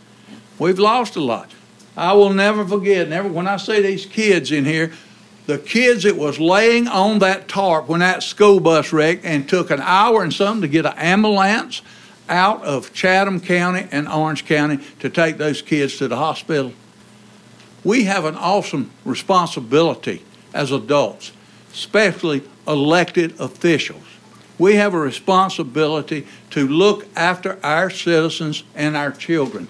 And sometimes it's not easy to make decisions, but we have got to do something because we're so far behind. And it's not all your fault. I want you to understand that. I'm not saying that because this has been a history of, I've been sheriff 23 years and it has been beating my head in every year trying to figure out what in the world we're going to do. And it's, it's ridiculous to have to do that. Okay, thank you. Now, why, what is the problem by not having enough staffing? First of all, serious injury to personnel and even detainees, which will bring a lawsuit on the good old sheriff here in Alamance County. Damage to the facilities. We've had our facilities tore up for an officer get there. It cost several thousands of dollars.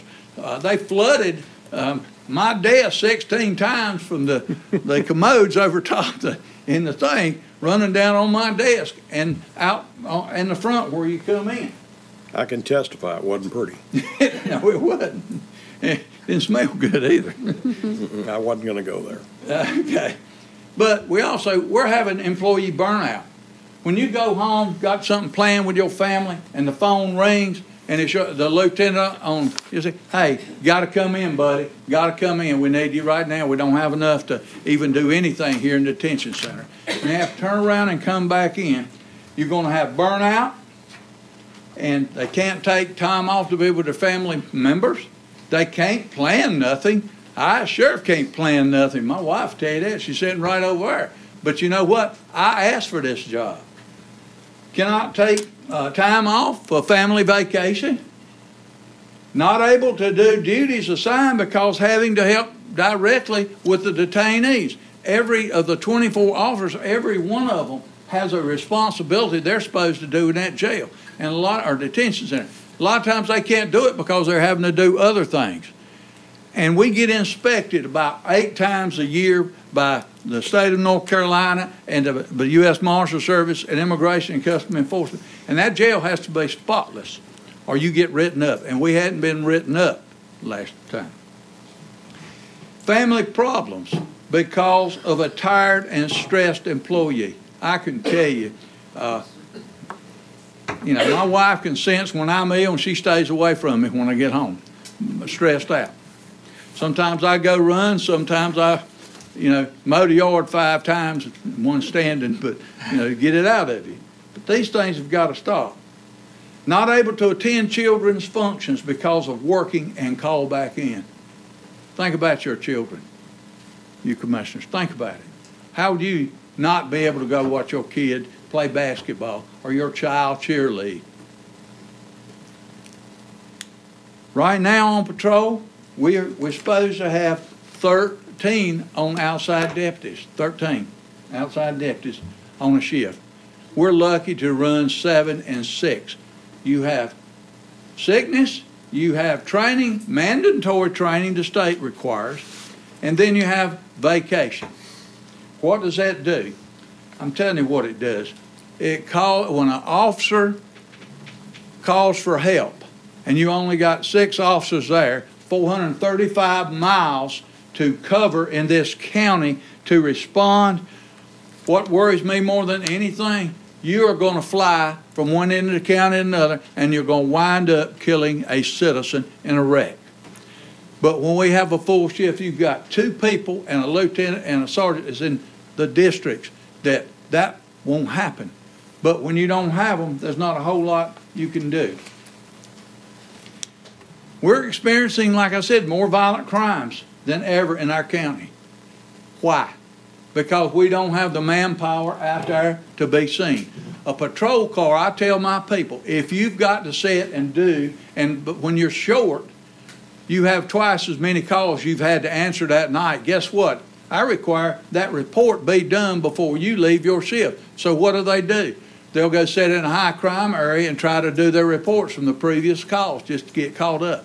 I would rather for my people to be able to patrol, move around, check the stores, let people see you, Because if you're gonna break in a home and you see a deputy every thirty minutes, bro, you ain't gonna hit that house, you're gonna go somewhere where you never see a deputy. Mm-hmm. And that's very, very important. L- Look at our comparative pay. I ask you, please, we have got to do something. And it is an awesome responsibility to sit in those chairs. I wouldn't want to sit in those chairs.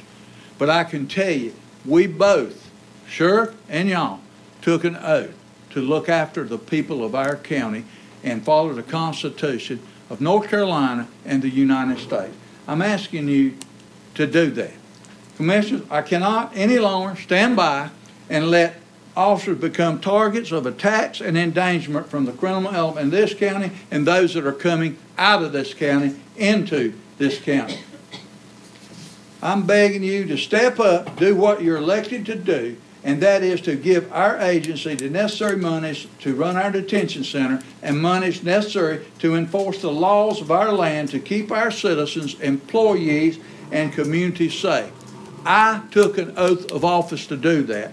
I need your help in getting that done. And if you don't uh, think that uh, my officers work, I ask you, come and crawl in a car with them. Just for a 12-hour shift, come and call, crawl in a car with them, and you'll see what they're encountering. I know, uh, 4310, uh, we have 21 people. That's our outside uh, deputies. 21 total people, 18 all sworn officers and three civilians openings. Let me tell you something. That's a lot of people. 4320, which is our detention center, 49 total openings. And we're supposed to protect these people when we can't put these officers on the road. I'm not getting on you, commissioners. I appreciate every single thing you do. But there comes a time where we're going to have to pay the piper, and that time is now. I don't think we can wait any longer because what's going to happen if we're not careful?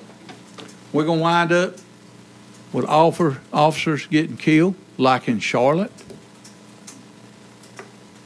Officers doing something or trying to get to a call, wind up in a wreck and getting killed, or killing a citizen.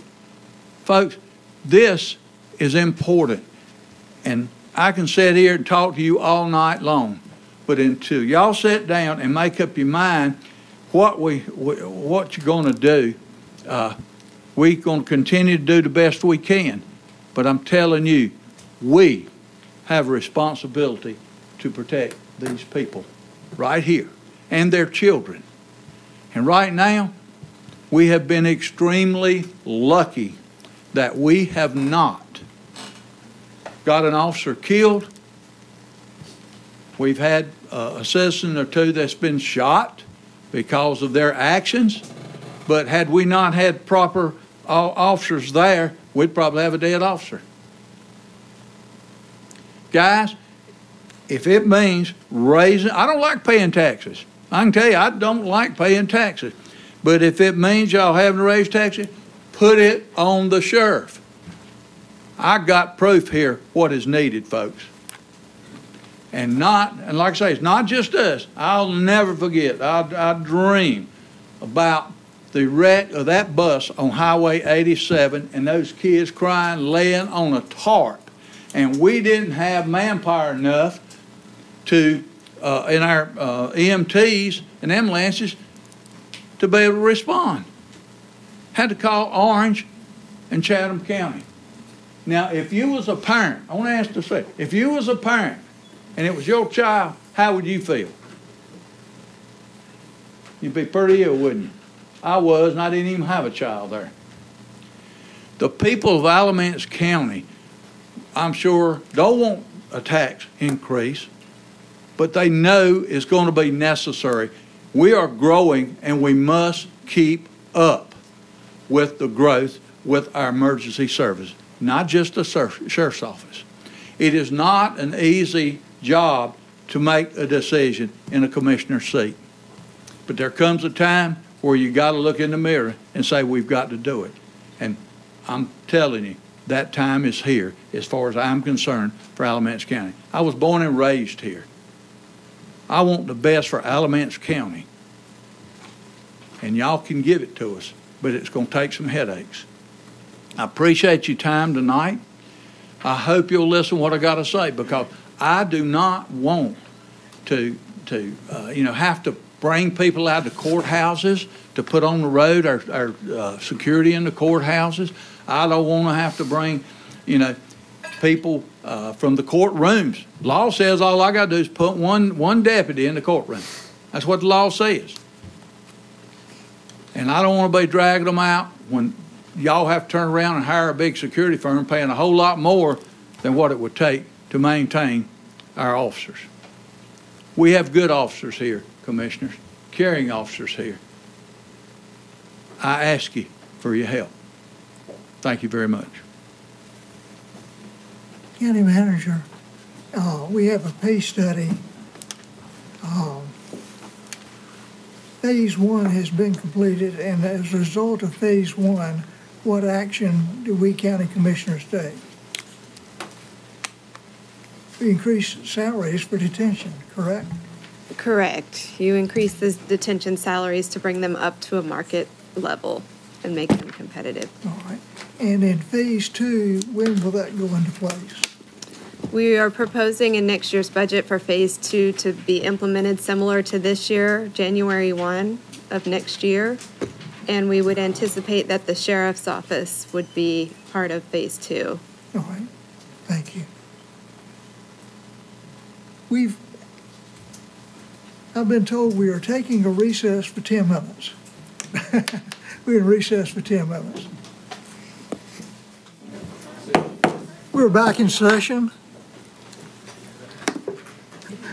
Okay. We are now at 7B on our agenda. That is follow-up on commercial property appraisals and Mr. Atkins. It's actually new seven C. Well, I didn't read that one. Have the, You want to see that? let's see if that works. Good evening, Board. Thank you for having me here this evening. Um, I'd like to present to you a follow-up on our commercial property appraisals. Closer to the mic. Closer to the mic?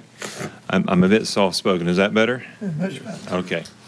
Uh, So I'm presenting a follow-up on our commercial property appraisals. Uh, This uh, references the 10 big box retail stores uh, that we've been talking about recently, and the results are in. So we contracted with Newmark Valuation and Advisory Services to review the value of the 10 big box stores the county had concerns about. The work was performed by two MAI appraisers. This is the gold standard for this sort of assignment. And the results may be summarized as follows. Of the 10 values under review, five were determined to be correct. And I was very happy with this. Uh, They expressed that they were impressed. Uh, County tax offices are not always so accurate, and they were very happy to see these five were on the mark. Two showed a small amount of variance. Um, in my world, though, appraisals are opinions of value, and so you're going to have some variation. That's not very concerning. Three showed a significant amount of variance. And so we're, we're not surprised. We suspected that may be the case. The average percentage of variance was 15%, and the total amount of the variance was $14,932,801. So this represents a potential underassessment. And I want to focus on potential because we, we need to talk about what that is. We'll kind of come back to that in a minute. But first, I want to put this in perspective. We need to get a sense of the scale that we're working with because 14.9 million sounds like a lot of money to me. But relative to our tax base at 25.3 billion is actually a very small amount. So that works out to 0.06%. That's not 6%. That's not six tenths of a percent. That is six hundredths of 1%. And I have a very hard time visualizing, well, what, what is that? What does that look like? What does that feel like? And I'm a visual learner. So this is an illustration. This is a graph showing 25.3 billion. This is our tax base. And if you graph the 14.9 million side by side, there it is. Your eyes do not deceive you. You, you can't see any portion of the bar graph because Excel can't render it. You can see the dollar figure. Excel can, can put a label on it, but it cannot render any portion of the blue bar to, to show side by side because 14.9 million is so small relative to 20, 25.3 billion that it just doesn't graph. So that might give you some perspective on, on the scale of the situation. Another thing that might be useful is to think about this in terms of pennies on the tax rate. Because one of the concerns I've heard is, well, did this affect the tax rate that the commissioners put in place? Might we have gotten a different tax rate had these been valued differently? Well, a penny equates to $2.5 million, roughly. The amount we're talking about at the current tax rate would produce $64,500 of annual revenue. So that is the portion of a penny that that represents. That's not a penny, it's not a half, it's not a quarter, right? It is a very tiny sliver of a penny, but at least we can see this one because we couldn't see the other one with the bar chart. So we can see it in this context. Um, another way to think about it, because even then I have difficulty grappling with what does that mean to me, is the impact to the average homeowner. So in Alamance County, the median home value is $263,997. If I'm the median homeowner, then if we could apply that to a tax rate, if we could, we would adjust the tax rate by .0002568 per $100. For the average homeowner, that's 68 cent per year. Now, that's not 68 cent on the tax rate. That is literally 68 cents. Reach into your pocket, pull out some change, and that is the impact on that taxpayer each year. So that helps me to kind of picture what the scale of the situation is. Now, I say that, but we have to talk about hypothetical versus real impact. This is a hypothetical impact. But if you look at our current tax rate, 43.2 cents. Um, I, I've got the records going back to the late 30s. Alamance County has never split a penny before. We've always had even cents for our tax rate. We just round the nearest penny. Going to 43.2 is a new thing for us. Uh, but, but there's a limit, I think, on how much we're reasonably willing to round. Again, at the potential impact, the maximum possible impact of this scenario, if we were to try to capture that, we would have to add four decimal places to the end of our tax rate. And I just don't think that the, the county board is going to do that. So whether these values are as they are or as they potentially may need to be, I think it would come out in the rounding. I think that we would not end up with a tax rate of .4322568. I, I just don't think that would happen. And when you round, the impact is zero dollars. It's so small that rounding it eliminates it. So hypothetically, we're talking about 68 cent per year possibly to the median homeowner. But in real terms, we're talking zero cents. In real terms, I do not think that will move a tax rate. And so the average homeowner hasn't been affected one way or the other as far as their tax bill. County revenues have obviously been impacted, but that individual tax bill has not been impacted. Now, I want to talk about potential briefly. So I keep saying potential, and why do I say potential? So just because an appraiser determines a given value does not mean that we would be able to assess the property for that value. Right? I can put a number on it, but that doesn't mean that's the number it will have. The appeal process would likely introduce competing appraisals at much lower values. So at the end of the day, an appeals board would have to receive, they would receive credible reports from credible appraisers indicating very different values, and they would be called upon to determine which is correct. So when you've got these credible reports from these credible appraisers, what are you going to do? There's a high likelihood that neither of the appraised values would be chosen, but that some middle ground would be chosen. And so really, the final value that would be in place isn't whatever I say it is. It's whatever an appeals board ultimately says it is. Now, you might assume that we would meet in the middle of our current assessment and the higher value found by Newmark, effectively cutting the $14.9 million figure in half.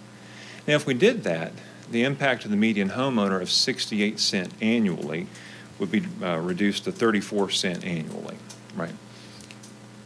That might be the case. We, we might meet in the middle.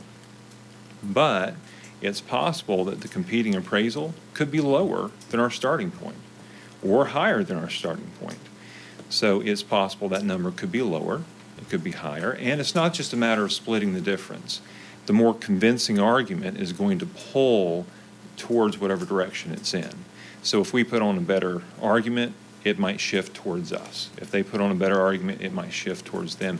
There's just no way to know what that appeals board is going to rule. So when I'm reporting the numbers, I'm reporting the, the full potential, the 14.9. Um, but just because that's the potential, I don't think that's a realistic number because I think there's going to be compromise. I think half that much might be realistic, but it could be none. The, the situation is that when you take it before that appeal board, we may have ended up at the exact position we're in right now. We just would have done it the right way by the book instead of kind of skipping that board and ending up where we are today. But for all I know, we're in the same place we would have been to stop to start with. I just don't know what an appeal board would rule. So, all right, that's that's the scale of of what we're dealing with. What if we wanted to pursue? We want to proceed forward and see if we can recapture and bring that in. So, an optimistic scenario, and I've worked with the county attorney. Um, on my side, I'm looking at it from the, the real property side, but obviously there's a lot of legal defense that would have to take place going through the appeals boards. Allowing for legal fees and additional employment of experts, we think optimistically we might get 25,000 paid over a three-year period. That that's something that we may be able to net. Uh, that's $8,300 per year. Now, again, putting that in, in perspective, the average homeowner then would see 26 cent after the three-year period of recapture. That's nine cents per year. That's not nine cents on the tax rate. That's nine literal pennies. That would be the annual benefit that optimistically the average homeowner may see. Um, but there's a pessimistic scenario, right? It's possible that our expenses, especially our legal fees, would exceed our revenues. And in that case, the county could engage in a multi-year battle and receive a net loss. We really don't know what happens until it's tried. Um, the scenario changes if we do this through revaluation. One of our issues is that we've already put a value out there, and then we're going to turn around and counter that value and fight from that position. That's not a great position to fight from. Revaluation, you, you have the high ground, so to speak. You're starting fresh. We've got the information in from these appraisals, and then we would be able to place a fresh value. Our next revaluation is scheduled for 2027. Work on that revaluation is starting this July. So another avenue is just to say, well, it's a relatively small impact. Three years from now, we'll have new values in place, informed by what we have. And, and sure, at our last revaluation in 2017, we fought them at the Property Tax Commission in Raleigh. They appealed then. They're going to appeal next time. That's, that's just the nature of this. But our ground is so much more firm when we're starting fresh than when we've already put a value out there and we're trying to come back and counter that value. I can't tell the board what the right answer is. I don't think the board has to make a decision today what the right answer is. Uh, but I do want you to be informed here's the scale, here's the, the scenarios, uh, so that you can give it consideration. Um, Any questions? Mr. Turner. What's the, um, what did you say was the amount of tax revenue that we are giving up by under-regulating fourteen million dollars over ten properties? Sixty-five thousand dollars a year? Yeah, so it's uh, 64,500 annual, and that assumes we could recapture it full. So if we met in the middle, we're talking about 32,000 a So year. if we spent sixty-four thousand five hundred in legal fees at, at the administrative office of the courts battling this and end Right. up with a valuation that we agree is right, we're breaking even. And, and that's the And that's, issue. and that's assuming that we win. Yeah, and that's the issue. So if, if, if there's 64,000 out there, but we could meet them in the middle at 32,000 when the smoke clears, but then we've got to spend 24,000 in legal defense, we walk away with eight annual revenue, which is what we're looking at optimistically. Why were these ten properties chosen to look at in the first place? So these were the 10 that were appraised in the same methodology, um, which is that they were all uh, assessed at uh, 65, 66 dollars per square foot, which was perfectly appropriate for five of them. Not bad for two, but was inappropriate for, for three of them. And of course, Lowe's was called to our attention. That, that kind of began the, the research, and all 10 were affected. This is the universe of what was affected. Nothing but these 10 were approached in that way. Is there, okay, is there any reason to suspect, is there any credible evidence to suspect that any other commercial property was appraised wrongly? No. Thank you, Mr. Chairman. Mr. Thompson. How long have we been doing it this way? What do you mean? How long we've been doing this rate for the commercial? Like, has this been a standard year? Do that, do that amount next and focus a lot on the residential? Because, I mean, I'm in an area here that I'm just Sure. asking you what I think I'm hearing. Mhm. I'm hearing you say there were ten properties, which Mm-hmm. there are not just ten properties in Alamance County. Right, sure. And I'm hearing you say this certain amount that we would get if we go to court and talk about it with lawyers that we may not win. Hmm.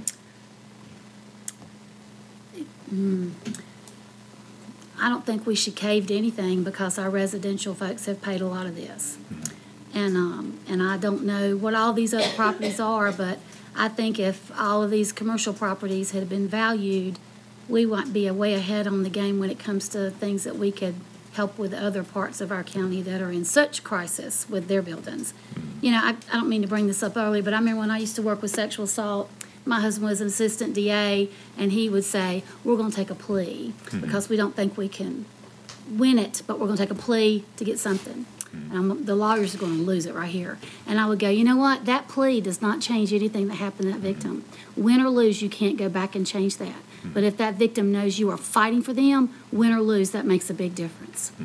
And I just, um, I think whatever we need to do for our county to be fair mm-hmm. among whoever can't pay, who can pay, and who should pay, mm-hmm. that's what we need to do. Because if we start the look of, we give all these massive incentives mm-hmm. to these industries, because that's part of that game that you do, because you want to court them and you want them to come here, jobs, the whole nine yards.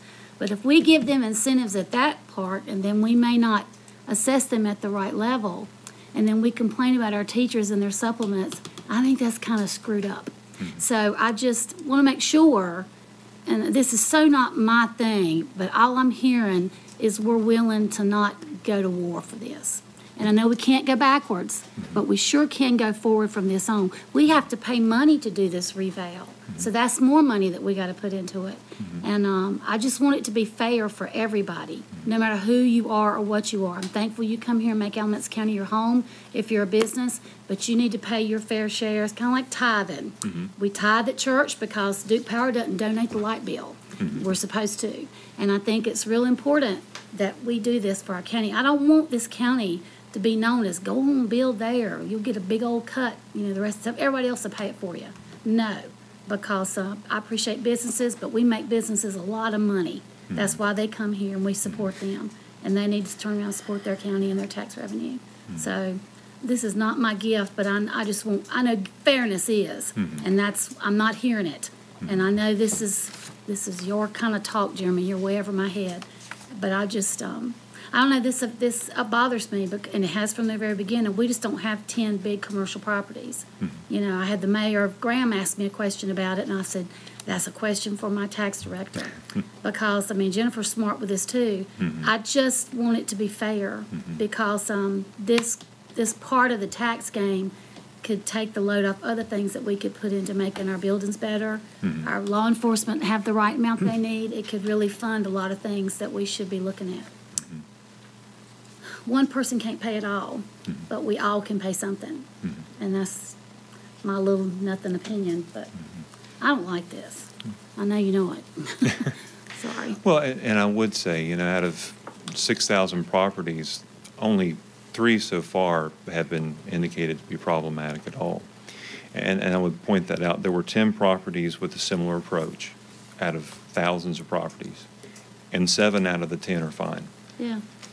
Only three of them aren't. So, you know, it, it, it's a situation you're looking at, at those three.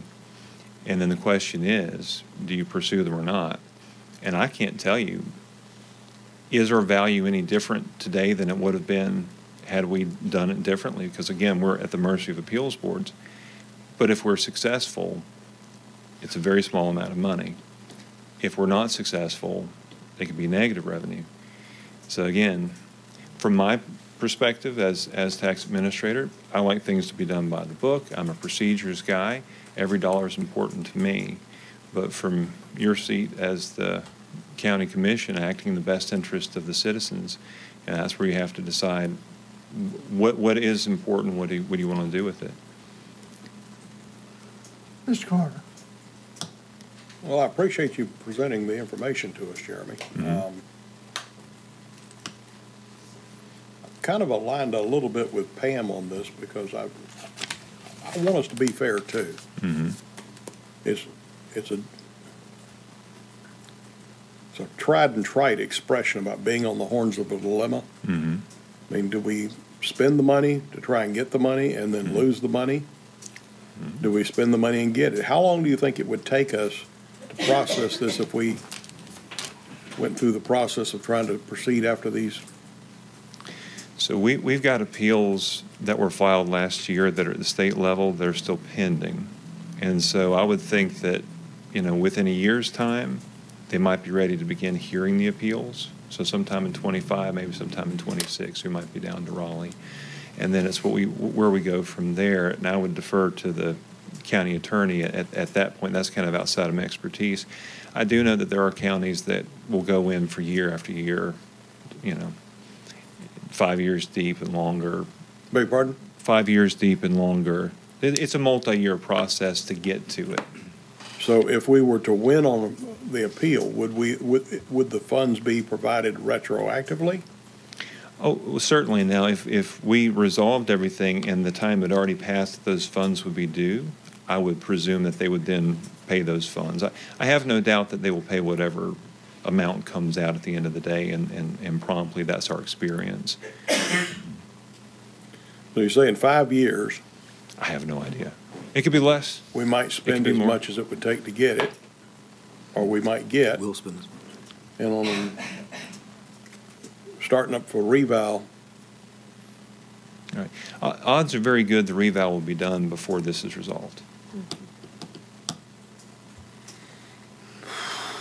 Mr. Carter, that's a fair assessment in my. Beg pardon?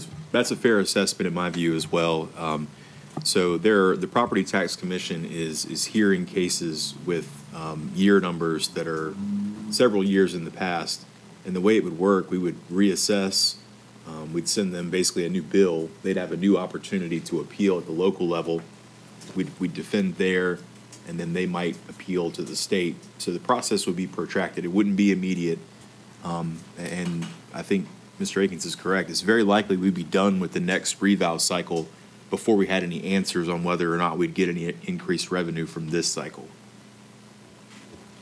I noted um, that Mr. Turner and I both were shaking our heads when you were talking about attorney fees. Oh, yeah. Uh, They are not cheap. Uh, Staff cannot do those appeals.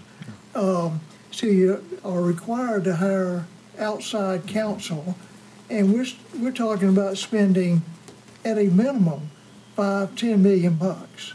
Uh, What? at- Yeah, at some point, potentially, or say it's five thousand dollars or ten thousand dollars. We still have lost the game financially. And I agree, it was not millions, it's thousands. Uh, I stand corrected. Uh, but it doesn't make any sense when we have a new reval starting roughly January first or July first of this year. Right. Uh, we're gonna be reappraising all of those properties, all ten that you spent the time and money to reappraise. Uh, and before anything else can happen, we're on the new rate, new appraisal. Um, and we suspect as the county, we'll do it a little differently for mm-hmm. commercial properties the next mm-hmm. go-round. Mm-hmm. It'll cost us a lot more money Right. to do the new procedure, but I think it'll make citizens much happier. And I agree with everybody sitting here. Uh, we want to be fair to everyone, but we have to be smart on how we spend the money. And if you spend a ton of money in legal fees, you might win, you might lose, mm-hmm.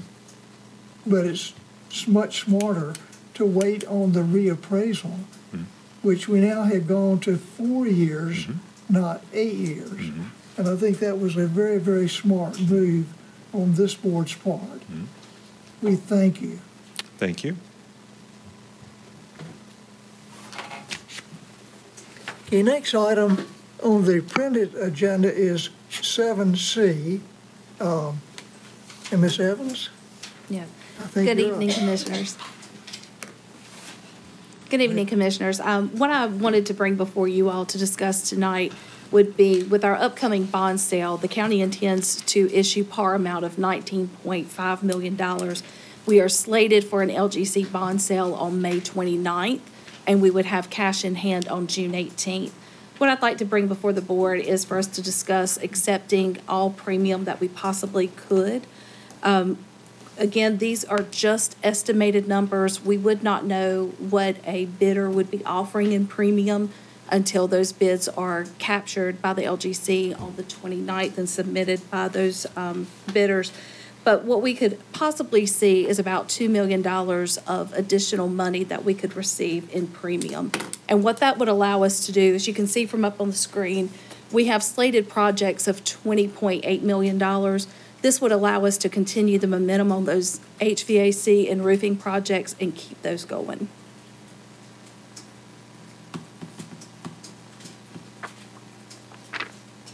And for the audience, explain where these bond monies go, what, Sure. So these would be to the different um, schools that you see up on the screen. Um, So we would have Southern Alamance High School, HVAC, Haw River Elementary School with HVAC, B. Everett Jordan. Uh, We previously funded the roofing, if you remember, that was about $1.2 million. We were able to move some money around and go ahead and get that one um, underway this fiscal year. But they do need an additional 320,000 for HVAC. Western Middle Roof, two point eight, Western High, three point five, Eastern High, four point eight, South Mebane Elementary, one million, Southern Alamance, the middle school, the gym, only six hundred thousand. Um, then back for HVAC projects at Alexander Wilson of three hundred twenty thousand, Hillcrest and Smith, seven hundred thousand, Alexander Wilson, uh, phase one of a roofing, would be seven hundred and thirty-seven thousand, um, which brings our total to twenty point eight million, and that is just for the top priorities. There's an additional school listed on the second page, Bruce. Um, so with additional funds, we could possibly go ahead and get the design work underway for the E.M. Holt Elementary HVAC needs of two point seven million. now, this does not include all the monies that have already been set aside for ABSS, the school system. That is correct. For example, as of 2022, we set aside $5 million for roofing for Graham High School, an additional $5 million as of 2022 for um, Southern High School, if I remember correctly.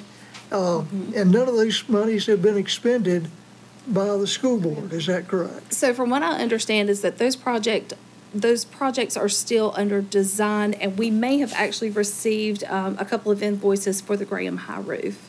All right. I would have to verify that, but I know that those projects are underway. But basically, ten million dollars is already sitting out there to be used by the school board, and they did not enter any contracts for either school until within the last thirty days, is that correct?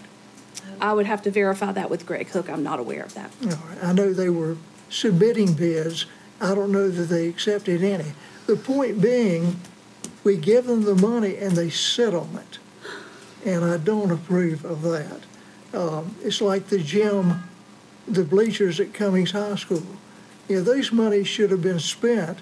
We give it to the school system and they sit on the projects. And I just don't like it. By the way, um, Mr. Lashley talked to me on the way home from the hospital today. He says he will be at our next meeting. Uh, he plans to meet with our county manager, um, later this week to go over our proposed budget. We could not wait on the school system, by the way, for our budget. So we already have a budget, um, that's been proposed and the county commissioners are looking at it. We simply couldn't wait on the school system. Uh, and so that's kind of where we are. But I want the citizens to know that we can give them the money, we cannot make them do the work. Um, Dr. Harrison asked me not to beat up on him anymore, and I'm afraid I just did, sorry. Um, at, at the last meeting or meeting before at ABSS, um, Greg Hooks, the Graham High School stuff's on the way. It's supposed to be the materials on site in June to start, so Graham High School's off the, the list, so to speak. Um, and, and just once again, the bleachers, I don't want this to be another dead horse to beat, were not being considered. 18, 19, 20, 21, 22, 23, we've just heard about this this year. So um, there's many other things that we're needing to do, but the bleachers unfortunately weren't talked about because I guess between all the other stuff, I hear Eastern's got issues too with some of the areas in their bleachers. It's, everybody's got issues because everything's old, it's wore out. So um, the bleachers is, that's gonna be something and getting stuff ordered. I mean, for football season, you know, a couple months ago, I asked about starting on that earlier and um, it's just, not going to work out, but that was not even thought about in the bond whenever we were looking at all the planning of it. That'd been nice if it was, but it just wasn't. There was so many things way in front of it. But that wasn't even considered, because who knew the bleachers were in such bad shape? I'm just glad they discovered it and nobody's been hurt from them. That's the important thing. Ms. Thompson, I totally agree. Yeah. We talked about in our oversight committee, these bleachers more than once. Well, see, we don't get to go to the oversight committee, so I don't know what you talk about in it. I, I'm looking forward to attending that meeting one of these days, so I won't sound like I don't know about it, because I don't. Okay, uh, Mr. Turner, Ms. Evans, what uh, interest rate are we expecting to receive when we go to the bond market in a couple weeks? Um, so preliminary estimates that I've received have been around about three point five percent. Um, again, we won't know what the actual interest rate will be until those bids are received by the LGC, because those, it is a competitive bid process. The model we use for projections estimates 5%. That's correct. Um, If we get the additional two, around $2 million, um, is there sufficient revenue into the debt service model to get the additional money without having to put additional tax revenue into it? There is. Okay, thank you. There is. With the model being at five percent, it, the interest well covers what we would repay for the premium. Thank you. Mr. Carter. Well, uh, Pam is fond of talking about ferries. She's so broke. She's off Our that ferry is road. totally She broke, I tell you. broke. Um,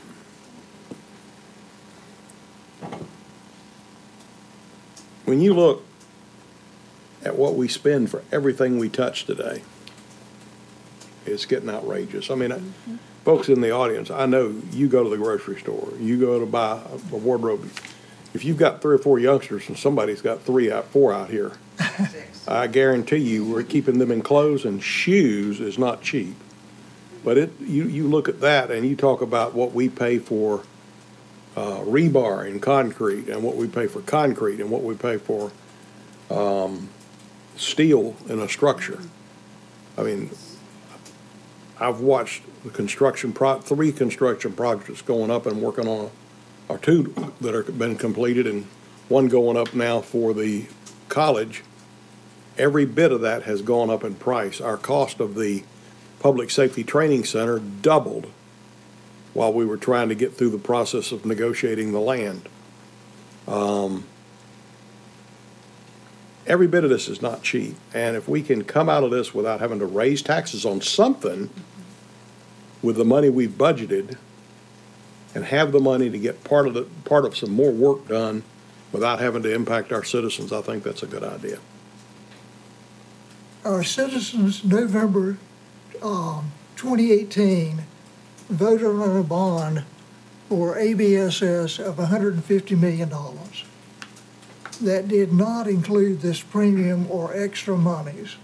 Um, I've heard Ms. Thompson, Bill Lashley, and myself, all three say, and I think I've heard you guys at some point saying, 150 million is what it is. We should not be adding taxpayer monies for premiums beyond the amount voted on. So, yeah, I, I'm at a point, don't do the premium. Let's give them what the tax citizens voted for, which is 150 million. So we have issued, if you're talking on a cash basis, we have already received that cash of 150 million. Um, Where the 19.5 million, where that money is derived from is because we accepted premium, we did not have to issue the entire par amount. So we still have the, they're authorized, but they're unissued of this 19.5 million. This will allow us to fund the projects for the roof and the HVAC systems that were identified by the joint study that the county performed for county bu- buildings as well as the school facilities. Um, These bonds would not be able to pay for any county projects because they are voted for, for school projects. So we would follow the bond question that was on the ballot back in 2018, and we would be able to complete these projects. And also by accepting the premium, then we're also able to use some of that premium, about $300,000 of it, to pay for the issuance cost of the bonds versus having to take that then off of the proceeds of 19.5. So we would then be delaying future pro, more projects from the priority list that the board received earlier this year. But we still gotta pay the extra $19 million back. We do, but because of the mo, the way that the model was, was formatted, um, we were anticipating five percent of interest. Um, right now, the bond market has not gotten to that five percent.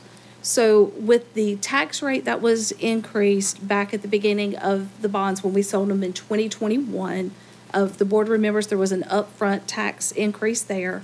Combine that with the state lottery funds that are used for debt service, as well as the dedicated sales tax, Article forty and forty-two.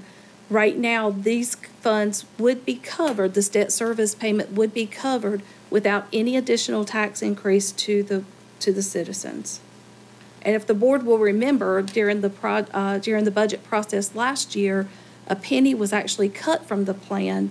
So even with that penny removed and reapportioned over to the county budget, there is still adequate funding that would pay the debt service for these projects and allow us to move forward with the roofing and HVAC needs. Mr. Chairman, the result is gonna be that we're gonna, this is work we've got to do. We're going to have to find a way to pay for it. We either will be raising taxes to pay for it or use this source, which won't cause us to have to pay, raise taxes to pay for it. You still gotta pay it back. But we don't have to raise back. taxes to pay it back. Right. We would have to raise taxes to pay for this work. There if is. We financed it. There are adequate revenues right now that flow through the model that will fund the plan. Um, and with the bond sales that was done back in, the referendum that was processed back in fiscal year, um, November twenty eighteen, the board has seven years to issue that debt. So come November 2025, if we have not issued this $19.5 million, it will just go away. The authorization would not be there unless this board so chose to ask for a three-year extension. So, can I just ask a question? So you're telling me that they are done at one fifty? This is like this extra money that, okay. Yes. We know that we're going to have, we have needs, and it's, we, this is a tool that the county can use to go ahead and issue this debt, keep these projects moving, keep those capital improvement projects, get them completed so that we're not having to go back through a mold issue again. Um, or we, we table everything, cancel the bond sale, and would have to look at another way to fund it. So issuing another bond referendum or issuing an installment loan. It's a tool here in the present that we can go ahead and utilize and get these projects completed. Understand, I'm not against issuing the bond that's already been authorized. I'm against authorizing the premium and costing the taxpayers to pay, call it whatever you like. We may have it in our budget now, but we still gotta spend the money and pay it back. And we've gotta look after our taxpayers, you folks that are having trouble buying groceries and clothes. You're the ones that are gonna, and I, as a taxpayer, are gonna be paying this back. So could I put this in perspective for the board? Um, is, so if we were to accept the premium, if we were to accept the premium on current estimates, and please remember, we have not received bids, so I don't know exactly how much premium is going to be offered. This is just rough estimates that we've received from the most current um, bond sales that other counties or municipalities have, have had. Um, So if I'm comparing where we think debt service payments would be if we accepted every penny of, of premium to the bond, if we were to adjust it down and not accept any premium. Um, in the first year, the difference between those two payments is hundred and fifty-five thousand dollars. Right now, within our budget, because of the dedicated revenues, we have dedicated revenues that would be transferred to ABSS capital reserves at the end of the fiscal year of about $1.5 million. The county cannot spend those funds on any other projects than a school project or a debt service. So the revenues are there of that 1.5 million that would offset the 155,000 that we're looking would be the first year of debt service payment. Mr. Chairman, if I might. I, um, I- when we, when we first issued the, the bonds, I was one of the ones on this board saying that we should issue only hundred and fifty million dollars because that's what the voters approved. And I believed that then, and I, I wish that we could do that now. Um, but we funded a study coming out of the mold crisis, cost seven hundred, roughly seven hundred thousand dollars, to look at every roof and every HVAC and ABSS uh, and to find out where we have the most needs. And we know that for these schools on this list, there are active roof leaks. And we know that HVACs in these schools on the list are insufficient to cool or heat the facility in order to keep moisture from continuing to form. Susan, will you go to the next slide? And if we accept only nineteen point five million dollars, uh, then Smith's not gonna get, uh, can you go back? Smith's not gonna get an HVAC. Alexander Wilson's not gonna get a new roof. Uh, and B. Everett Jordan, I think it was, is not gonna get a new HVAC. I can't tell the kids in those schools that they shouldn't have that when we have focused on the problem, we have come up with a potential solution to fund the problem, and we have the means to do it without additional revenues going in. Yes, it's gonna cost more. I understand that. But we have an obligation to keep moisture from forming in these schools. This is the solution that we have available to us, and therefore I make a motion that we fund the nineteen point five plus the premium, uh, in the bond issuance. Mr. Chairman, as well, you look down that list to the right-hand column, HVAC issues. Part of the problem we're having right now, part of the problem we're facing with ABSS is the increase in their utility cost from having to run their systems 24 hours a day, 12 months a year. And inefficient HVAC systems are not going to save them money. If we need to replace them and get more efficient systems in, I can guarantee you, as old as a lot of these are, they're very inefficient, I'm confident. We can save money on our utility expense, which we have to fund for ABSS as well, which they're going to need us to fund. It's a bill they've got to pay. Unless we want to be dealing with mold again. Um, and after that school, that second school, that second page school, E.M. Holt, is another whole list of schools. That is not just gonna just make ABSS all rainbows. That's correct. That, the whole system is just a hot mess. It just is because of neglect and not funding and not whatever when it comes to our buildings. And, um, and gotta have the right people in the right positions doing the right choices and making these decisions. It's got to be right. Um, you know, I, the whole time I've said that I wasn't gonna go uh, past the bond because the citizens like myself voted. This bond is paid, it's like a coupon book you used to get when you trade cars. We all got one, and it's to pay for this. And if I really thought that this was going to fix all the problems and what was done, hey, I'd just say go for it. But we need much bigger than this. And, and we're gonna have to look at that because everywhere you go, there is some kind of need that we've got because time has just run out. We're looking at what the sheriff has come in here for, we're looking at EMS, we're looking, we're looking at all that, which we, you know, what you said, Sheriff, everybody wants to come here, but we gotta pay for it because some people come here to do harm, they don't come here to plant flowers. And you gotta have, make sure you got all that. It's just so much that's hitting us all at one time. It is just the mother of all times to get things right. And, um, you know, my word is everything. I just, I, I, I swore that I was not gonna go past the one fifty, because I don't think this is the issue to fix our school systems. I think this is just a dent, a dent. I'm sick of dents. I am sick of dents, because when, when we used to paint schools, every six years, we tried to do a rotation of six or seven schools. And by that sixth year, you would be painting that six year ago, because paint can make a big difference. But we've had some really, you know, just wait till my board comments. We've had some issues with painting companies. We've had some issues with custom, we've had some issues with stuff. Because for some reason, schools, we just have to get whoever can do whatever and just pay a whole lot of money. That just cannot keep going on. We don't run our households that way. And we can't run an education because you know who gets messed up is teachers and kids. The whole time we were at ABSS fighting over mold because that's what it was like WWE wrestling, literally. Not anything was mentioned about children or teachers. And they've, they've all been in here begging us to help them, save our positions, do this because I know the positions that they're losing and they're going to need them. They really are because kids just don't come to school nowadays. They come with a whole bunch of baggage because of what they're coming out of at their home. We can't ignore like that doesn't exist. But it's just money, money, money. And, and I think, well, this right here, is this going to fix all of our problems? No. Um, did I take an oath to work for this county, work hard, and not go past a certain amount that everybody went to the polls to vote for? Did we do the tax, quarter cent tax? Boy, that would have helped a lot, wouldn't it? But uh, shoulda, coulda, woulda, that's done. So, you know, uh, Lord have mercy, John, we're gonna agree. Lord have mercy.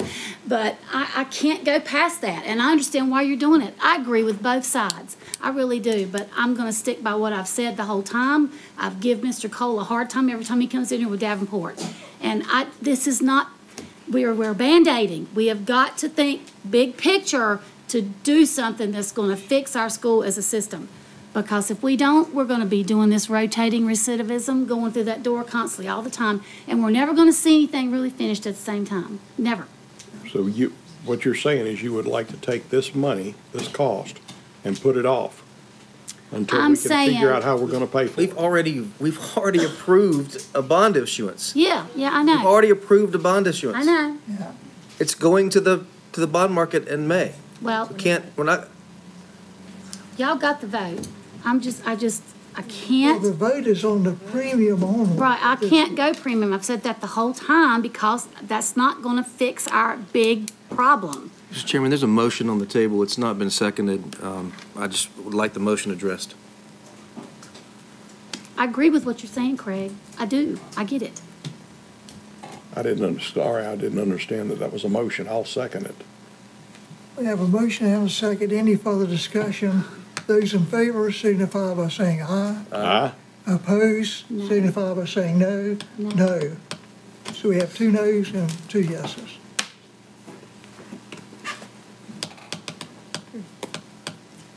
This county is going to have to think how to really fix this school system and do it the right way and get it all done instead of Band-Aiding everything.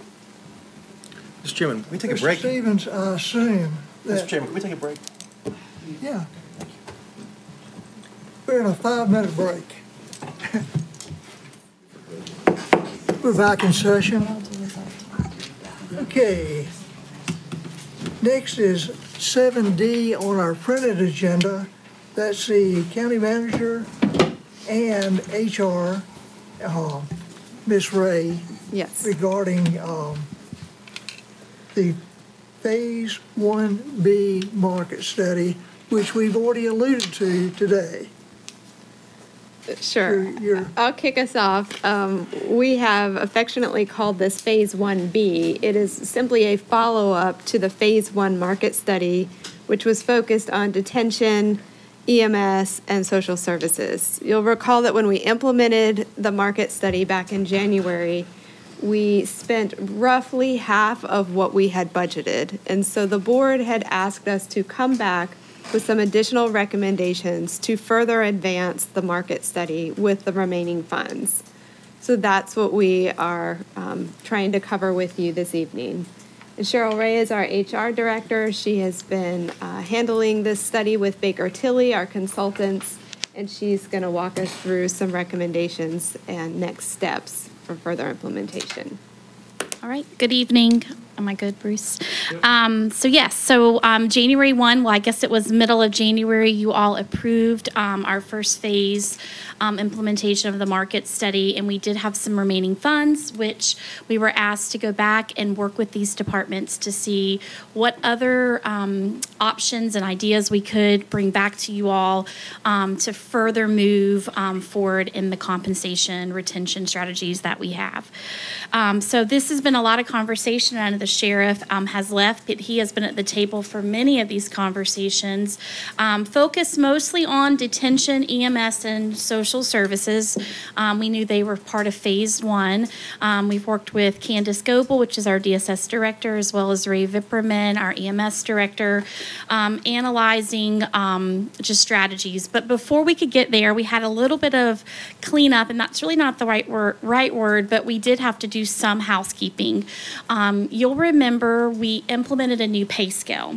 Um, this was the first time that we have adjusted our pay scale, not just adjusted by percentage, but we truly moved all of our positions to a new pay scale, which mean they got that, which means they got assigned to a different um, structure with a, a minimum, a midpoint, and a maximum. Um, because of that, our sheriff's office actually has several positions, part of um, a board action in the past, that gave um, us the ability to hire sheriff's office employees at $5,000 more than the, the starting range. Um, so we needed to implement implement that into the pay scale to really be accurate in how we're portraying what we're hiring versus just saying, hey, we're hiring someone at $43,000. We're really hiring them at $48,000. Um, so that was one piece. Additionally, we um, needed to look at some compression issues our new pay scale created. Um, so, for instance, investigators and um, corporals were at the same level, right? That that doesn't make sense. But when you're looking at 900 positions or 400 job classifications, some of these things you don't see because it's just the see the trees, um, be able to see the trees and that those aspects. So we were able to once kind of the dust cleared, we're like, hey, this does not make sense. We need to go back and adjust some things or make some recommendations to adjust. Furthermore, Um, we know that we have our health department and our social services department, and those are all Office of State Personnel positions. Truly, they're county positions, but there is another governing personnel act that goes over their positions where we have to have pay equity amongst those two departments in affiliation with the state's regulations. So there's this relevancy piece. So positions have to all be scored within a relevancy of relationship. Um, that's different from what we do here internally. So the new pay scale did provide some challenges with that. So taking all those things in, that was first up what we needed to solve, and that's what we're bringing to you tonight with an adjustment um, of that first piece on the agenda um, for June 1, correcting it, would be um, for Sheriff Detention Center would be 4,491, um, and that does include fringe. Um, and then, of course, with our health and social services, that's 5,809.29. So that is just one month of adjustments, right? So if you take that amount times 12 months, that's the overall annual cost that's going to take for us to make those adjustments. But we know we're only going to realize that June 1 forward for here. And those are really necessary for us to be in compliance with OSHA, but also being able to really present what we're doing um, for the sheriff's office and get some other pay um, grades aligned that will make us competitive internally. So that's number one. You all will probably remember red line and red circle. That became a very common vocabulary that most of our employees had never heard of before we um, went with Baker Tilly. Um, and so we um, certainly had a lot of education to do here, but we really needed to look and understand are these positions truly redlined? So, just as a reminder, redline means hey, we have a minimum of a salary, we're not going to pay any less than this for this position. A midpoint where we've said, hey, at six years, you should be at midpoint, is what our goal is as we go forward. And then a maximum. We're not going to pay anything over this maximum for this grade grade, right? We've, we valued this position based off of job duties and skill set needed to be, um, to be in this, this range. So some employees were above the range. I want to say it was 51 employees. Their positions were above the range. So we needed to look at each of those positions. We have to remember we only went to the market for detention, social services, and um, EMS. So there's some other positions in there that we didn't get market um, data for, right? So we did have to look. We worked a little bit with Baker Tilly on a little bit of extra research, and we know some of those positions may be in phase two. But in looking at that, working with Baker Tilly, we've analyzed those positions, and we've also made some recommendations to move some positions um, up in their range or readjust. We would usually call that like a reclassification, right? You're reclassifying them to a different range. So with that, you'll see the sheriff's office. There's about 27 folks within sheriff. And when I say sheriff, I, I am always referring to detention center, ICE, SROs, and of course our deputies. So that's that whole um, Maple Street address. That would be a cost of $32,545.85. And that is going to be retroed back um, to January 1. And so you may say, that was my recommendation. That's when we did for everyone else in the county.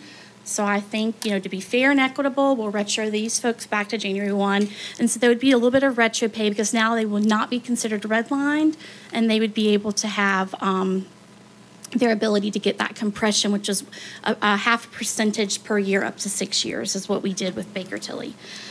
Additionally, with other departments, there were 24 other departments that we looked at, um, the uh, 24 other individuals in other departments that we looked at, and that cost was 9,131.34. So truly, that cost overall to realize is 20,838.60. Of course, on an annualization, that's 41,677. So that does move our budget, right? That those dollars will be realized and be incorporated. Um, we did also create a red line policy that we did upload that we're just looking um, for your um, your um, attention to it. Um, it will be a new process for us as we go forward, July 1 forward, where we look at merit pay, we look at other pay that we may get, and we're no longer going to add pay to people's salaries to continue to push them over the maximum. They basically would stop at maximum and they would get maybe a merit cash payout. That would be a percentage realized at the end of the fiscal year or other ways, and those are all out of recommendations of what Baker Tilly recommended, but also other counties in North Carolina are doing that as well. Okay. Um, additionally, um, that was that's pretty much what we had for um, cleanup.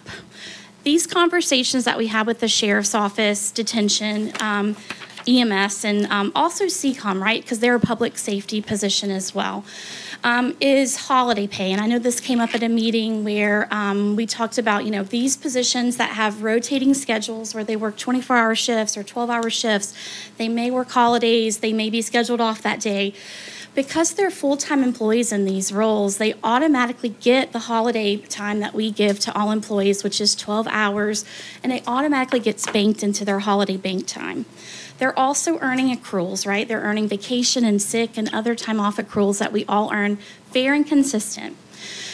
These holiday bank time um, banks have continued to grow because staffing is low or staffing is low um, vacancies are high so these individuals are not able to take off the time as they would desire um, but then they have this these dollars sitting aside that they see as value right so they came to, to us and said hey listen we would like the ability i think the sheriff's idea was this was his idea originally um, the ability to allow us to pay out this time other counties do do this as well so hey you have a pot of money that we are liable to pay out when they leave the organization, just like comp time.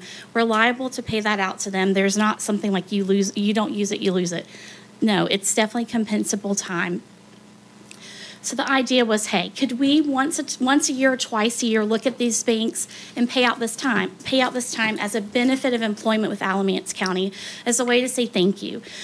So originally we looked and we set, we looked at June and December two times to pay it out, right? Um, but then we started thinking, how are we going to fund this throughout a year? How do we ask the commissioners for more money mid-year? Does that really make sense? So in working with these departments, which is which is a huge portion of our employee base that represent these departments, the policy came out to say, hey, we would like to pay it out in June, which is the policy has been uploaded to um, to this agenda piece pay it out in June, and only if that department had lapsed salary to cover it. So right now, we know this first year, if approved, would be the largest year that we pay out, right? We've never done this before, so we've, we've certainly have a lot of time allocated there. We also know that not all employees would love this opportunity, right? They may have a vacation plan down the road that they want to save this time for. So we really did craft the policy where we took that in mind. Um, and so we um, ultimately would let that be the employee's option to either pay it out or move it to vacation time because in our organization, vacation time as of December 31st, if you have more than 240 hours, that will roll to your sick leave, which in a local government setting, sick leave is very important because every 20 days of sick leave you have is a month towards retirement, so you can retire earlier, right? So these are all benefits of employment here. So with that policy, the total compensation was four hundred and twenty-two dollars, um, one, four hundred twenty-two, twenty-two thousand dollars, one hundred and three dollars. Um, and so you'll see that broken out on the agenda packet with the Sheriff's Detention Center, EMS, and CCOM. Again, I think I said earlier, um, Susan has checked, all of these departments do have the lapse salary to cover this. If you guys do approve this policy enactment tonight, it would be in place in June. We would work with the departments to communicate it, and then we would pull this payout from lapse salary from this year's budget. And then going forward, this is how we would do it every June. We would look, yes, Question. These are accruing as a liability, right? correct. So rather than taking it out of lapsed salaries, why not reduce the liability? So they are not true liabilities that we have to book into our system. Uh, they are payable in that fiscal year. So until an employee is pulling those hours down, it's not a true liability that we are having to account within the general fund. Now, it's represented on our government-wide statements, but we are not have That's what physically I'm having saying, to yeah, book right. a It- it- We are, liability. it- somewhere we're recognizing it as a Right. liability. In a gra, in the governmental wide, but it is not a true liability that I am booking into our system. It's kind of semantics, isn't it? It's in a different fund, but yes. Because even like vacation time, you she does something similar with vacation and comp time. Right. They all have to be coded, so they are liabilities, right? If these all left, we would be required to pay this time out. Um, however, um, we're not. I guess we're not legally au- um, have required to report all of those and carry that liability in that full amount. In the general fund, that's correct. We looked at this policy as a benefit for employment, right? Not all Right. counties do this. This would differentiate our organization. Um, I will say, you know, from when we originally spoke about it, I think the sheriff spoke about it maybe in February. We worked, we crafted policies back and forth. We had originally mentioned April was a time that we would maybe target for that. We didn't come back to you guys because we were still working out those things, but a lot of our employees heard the April date. April came around for payroll and we got lots of phone calls like, hey, didn't you guys, aren't you paying out our time? So people are very much interested in this, um, this policy if we can enact it, but completely up to you all. I'll continue moving forward. Um, is, you know, so you probably see, you know, that we're saying we're paying out of lap salary. So you're like, well, Cheryl, you really didn't use the rest of the money that we um, allocated. So we have crunched numbers. We actually had the share, um, we actually had EMS, they presented, um, it was over 600,000 of what to do and be able to move their time, um, move their pay up to be more competitive. And really that um, I 4085 corridor competing with Orange County and Guilford County, and we've already spoke about how our market study really looked at comparative counties. It did include them, but it did not just include them. Um, our DSS also presented, um, I think that was 450,000. So um, the amounts are just so large to be able to bring back with what we have remaining.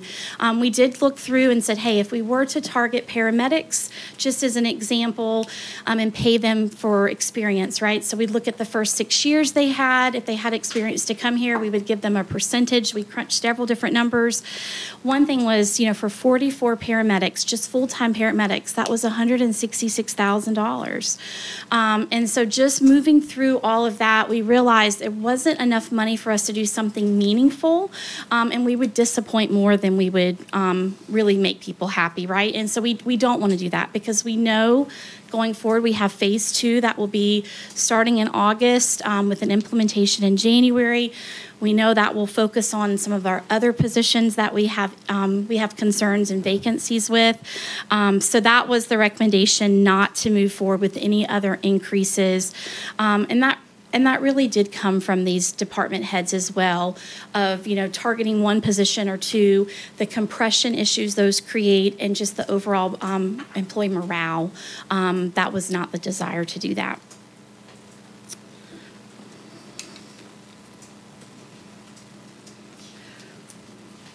is there anything else we wanted to talk about No, I think we just need some direction on each of these pieces in terms of moving forward. So we have the realignment of the pay plan for the sheriff, health and social services that needs some approval. Um, We also have the red line positions. If you want to approve all of these in one, we can do that, or take them separately, whatever you prefer.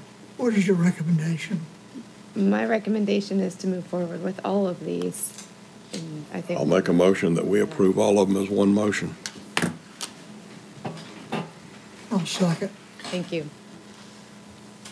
Just a, a couple of questions. So we budgeted in this year about, what, $850,000 to 889, I think, 89 the amount that to budgeted. imp- to implement uh, the results of a pay study for a number of departments. For three specific departments, We got the market study back, we allocated about half, correct. which was also applicable to others in the organization, to everybody, all other departments in the organization as well. The other departments were not benchmarked, but we were able to do some adjustments for, um, co- to adjust for some compression and to recognize uh, tenure and longevity. Okay. So this is basically much of the other half of what, what we, what we budgeted in the, in the mark, for the market study. Correct. And this impacts which positions? Well, there's a couple of different components here. Uh, This is going to address some of the issues with the sheriff's uh, detention employees, um, DSS and health. The red line positions are across all Across the of the organization. Yeah, with a large concentration in the sheriff's office. The holiday payout is going to address EMS, sheriff, detention, and CCOM, because those are the ones who are working and not able to take those holidays. Um, so it's, it's kind of a mixed bag. Uh, So the vast majority of the, of the folks affected with this are the original groups that we identified as wanting to analyze in the first study? I believe so. Okay. Yeah. Okay, thank you. You're welcome. Ms. Thompson, I'm good. We just need to, we said we was gonna do this, we need to do it. Mr. Carter, That's what I said. and I'm in total agreement. Yeah, we've already set aside the money. It's, uh, already tagged. We cannot spend it, whether they take it now or take it when they retire. So I'd say, let's pay out. We've got the money, uh, let's do it. Have a motion and a second. All in favor signify by saying aye. Aye. Any opposed?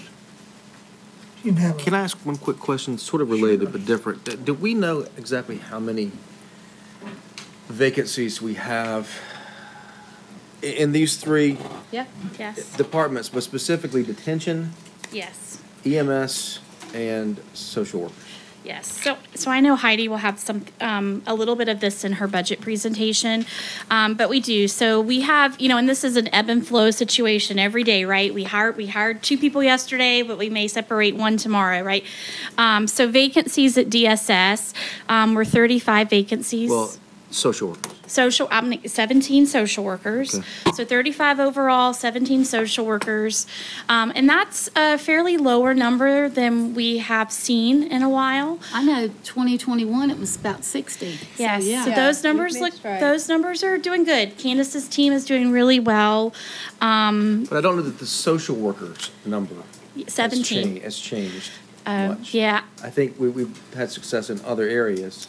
You might be right. Economic, uh, I can't remember the. like econo- economic services Yes. and income maintenance. So what I can tell you is, um, I don't think we track the information at that level, so we'd have to go back and data mine in our Tyler Munis technology. But just in the last, you know, I def- definitely keep Heidi abreast, because those are things that we're looking at. Just in the last, I would say, six, eight weeks, they are hiring more social workers, social worker IAMTs. Um, these folks are coming in, they don't have a lot of experience coming in, so that's a little bit alarming, right? We're not able to get that experience to join our team. Um, but they are making great strides in those roles. So we could probably go back and look at just vacancy year over year to see where we are on those positions. Seventeen social workers. How about EMS? So EMS, we are 11 EMS positions, and seven of those are paramedics. Again, Ray's team is making great strides. They just had three paramedics, just or three um, base um, basic paramedics just passed their uh, three basic EMTs passed their paramedic certification just last week. Um, some of those are part time with our organization, right? They want to get through summer, join the team full time.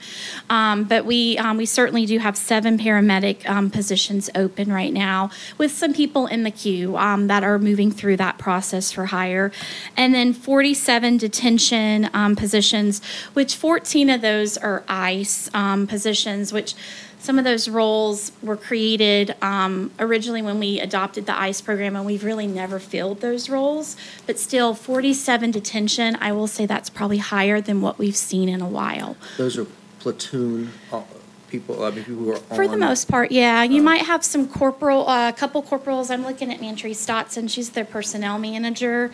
Um, so,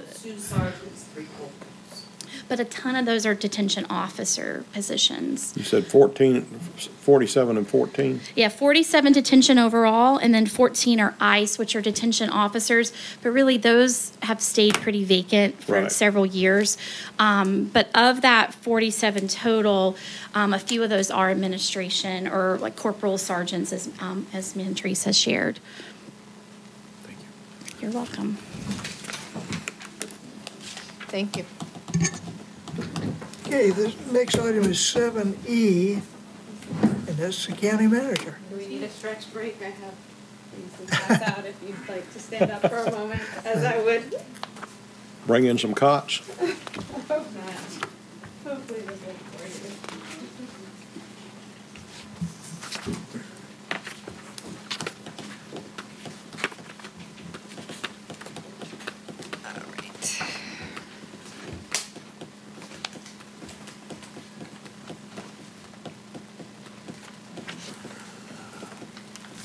right, Commissioners, I know I'm standing between you and uh, adjournment of the meeting soon thereafter. But this is one of the most important things that you do as a commissioner, and certainly one of the most important roles I have as a manager, and that is to present to you a recommended budget for your upcoming fiscal year. It's my pleasure to present your fiscal year 24-25 manager's recommended budget. Here's your strategic plan page that you're quite familiar with. It has a mission and a vision on it, hard to see. But honestly, we have found ourselves in a very critical juncture with this budget, with our mission being compromised because we're struggling to effectively provide high quality services for our citizens and community members. We're grappling with significant revenue challenges. At the time of your Board of Commissioners retreat earlier this calendar year, we honed in on a theme of rebuilding our foundation. We talked about needing to make significant investments in infrastructure, in our community, and in our employees. But as we worked through this budget process together as a team, we realized that we needed to pivot on our theme and reconsider that and become more about fortifying a foundation and less about rebuilding. Our service costs and our cost escalations have outpaced our revenue growth. As stewards of Alamance County, we're tasked with prioritizing and supporting initiatives that fortify the pillars of your strategic plan. And it's our hope that doing that this year will leave us in a position to begin rebuilding in future years, but this was not a budget that we could rebuild with. We zeroed in on some board priorities also during the retreat, and they helped guide your recommended budget. We're going to concentrate our fortification efforts then on several key areas. The first, conservative revenue and expenditure management. This budget reflects a very comprehensive understanding of the economic landscape that we're working with. It analyzes our trends that are impacting your fiscal year. And we did a real drilling down into the details of the line item requests.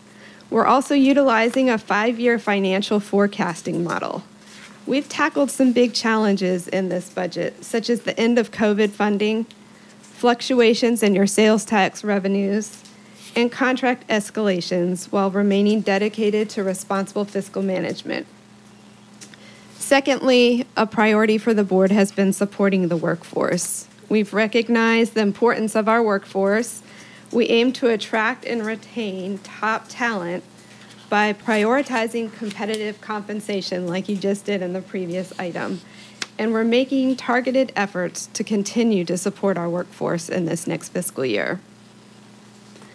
We're addressing community needs. As you heard from the sheriff, we're a growing community, and our services must evolve to meet the community's needs. Public safety continues to remain a top priority, and we're committed to meeting the mental health challenges within our community with our new behavioral health center scheduled to officially open this June. Cooperative efforts are underway between the sheriff's office, the court system, and our behavioral health providers, and this will enable us to fully leverage your opioid settlement funding and provide additional access to crisis services. Finally, we're prioritizing capital and facility needs. School and county owned facilities are aging. They're requiring significant up, upkeep and upgrades. Renovations and repairs have taken a backseat to service provision during the COVID 19 pandemic, but now are at the forefront of our needs in order to keep our children, our staff, our communities safe, and in an environment that's conducive to growth and learning. Your current tax rate is 0.432 cents in your fiscal year 23 adopted budget. Next year, your proposed tax rate is proposed at 0.452 cents. An additional 2 cents is needed to cover for some inflationary cost increases and to make up for some revenue losses. Many of you has, have asked me, what will this 2 cents do for us?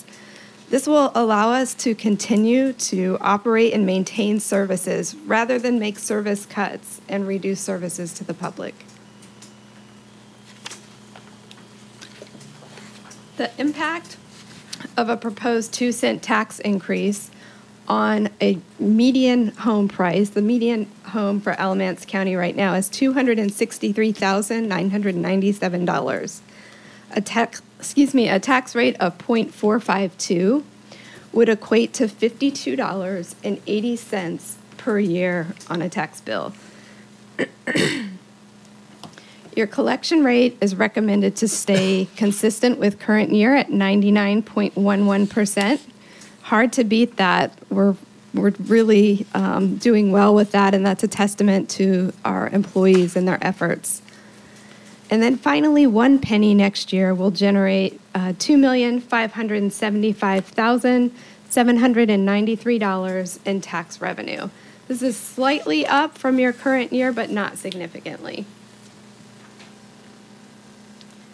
These two additional pennies can easily be explained with what we found ourselves facing right out of the gate. The statewide mandated increase in retirement costs, along with the impacts of that on the fringe benefits, equates to $2,833,000 and 372 cents, over a penny, but I didn't do a fraction of a penny in that graphic. Also, we had inflationary increases in our contracts, in our utilities for energy, and in our supplies. When I added all those up, the inflationary increase came to $2,340,495. There's your two pennies on the tax rate without any expansion of services. I know this graph is a little bit hard to read, so let me orient you to it. It's a historical view of tax rates beginning from 2001 up to the proposed rate for fiscal year uh, 24 25. And what's interesting about this is that you can see most of the time when we've decreased the tax rate, we've had to go back up. I insert these arrows here to show you that your current proposed tax rate is about at the similar level of the rate of 2001. Our services don't cost the same. We're trying to provide more, but our tax rate is an equivalent of the same time period. Similar to what you heard from the sheriff, this is a graph showing the projection in the growth of population. Between 2000 and 2022, there's an increase of almost 50,000 people, but we're nearly at the same tax rate. We're one of the fastest growing counties in the state, and yet we're also one of the lowest tax rates. And finally, this is similar to what you saw last year. This is for the tax rates for fiscal years 23, 24. So your current tax rate is showing there 0.432 cents. Alamance County is in the middle red alone in the red regional area for the lowest tax rate. Even with the proposed tax rate at 0.452, Alamance would still be the lowest of all of our surrounding regional counties. One other di- thing that differentiates Alamance from some of these other counties I wanted to mention is that we have a heavy reliance on our property tax revenue, where some of our neighbors might have the quarter cent sales tax, they might have a school tax, they might have a solid waste tax. So we're very limited in our revenue source, and we're relying on that property tax more so than other counties. Plus, we don't have the, I don't, didn't hear you say it, but uh, we don't have the quarter percent local option sales. tax. Correct. Yeah, I did mention that, but you're right, we don't, and some of these do. So overview, um, from the general fund, your next year's recommended amount is 220.5 million. This represents a 2.8% increase over fiscal year 23-24. All funds are uh, 260.3 million, representing a 2.5% increase. And you'll note that the Consumer Price Index for the Southeast region for the past 12 months, which is the inflationary measure that we use, is coming in at 3.3. So the growth in your budget is not exceeding inflation. It's in fact not even keeping up with the cost of inflation. Here's our revenue graph that we like to show you where the money is coming from. You can see that over half of your revenues are coming from property taxes at 53.3 cents. followed by sales and other taxes at 22.3, state and federal funds at 12.6, fees and licenses at 6.2, and finally other at 5.7. I'm not going to go through each one of these, but here's a list of um, your major revenue sources. And I will call your attention to your sales tax, the third bullet down. We're estimating a drop in that of about 3.3 million. That's having a significant impact on your revenue sources next year. Next, I want to talk about fund balance. We are projecting uh, a budgeted amount next year to offset your operating costs of $8.4 million. Excuse me. We're continuing to rely on these rainy day funds that should be limited to one-time uses to balance your budget. Your appropriated fund balance next year would be 7.4 million, which is up 1.2 million from your current year. Your designated fund balance is dropping. It's dropping because we've already depleted that in balancing your 23-24 budget, so it's not available for us to um, budget for next year. So with this reliance on fund balance, we are estimating that your unassigned fund balance level will dip below your internal policy of 20%. Can I slow you down a second? Yes, sir. The preceding slide, Uh-huh. uh, real estate transfer taxes. So you're predicting that there's going to be very little transfer of property. We are seeing a trend representing a dip in those revenues next year, yes. What I'm seeing out there is just not a lot of inventory in the market, so That's it's- sales are extremely slow right now. And interest rates have gone up tremendously. Interest rates up, prices up. Um, We saw a house just go on the market today that everybody in here will be familiar with, but, uh, Yeah, do you have a question about that? Mr. George, does- does that sales tax dip include an assessment of Medicaid hold harmless payments? Yes, it does. So, in the I- past, that, that payment's been around three point three, three point four million dollars. So if you, t- if you discount that, basically sales tax is even. It's I mean, it's still slightly showing a lack of revenue, It's, it's, but from a it's different still source. declining, yes. And we can give you a sales tax, a sales tax comparison at your work session. Yeah. So with a trillion dollars in credit card debt as of January one, and, um, everybody's probably maxed out, what they are buying is not as much, and it's overpriced anyway. It- it- That, she's broke. Yes. I think where I'm seeing, what I, what I think I'm seeing, uh, I haven't heard anybody verify this, but if I look at the marketplace right now, inflation is hitting everybody kind of hard. They're buying necessities, not buying non-essential items.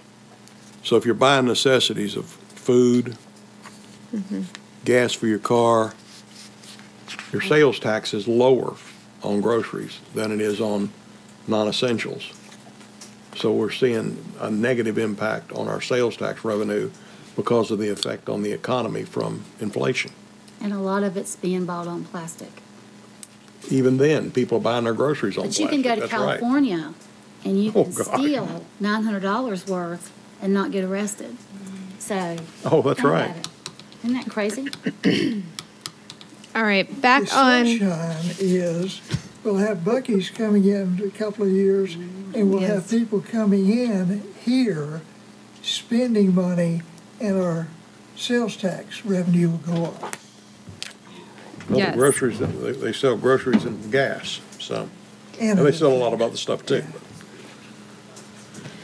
All right, back on the fund balance, I wanted to point out the last bullet on the slide. Your unassigned fund balance with what is being proposed is likely to dip below the 20% threshold that is your internal policy. We're projecting that could go down to 17.9.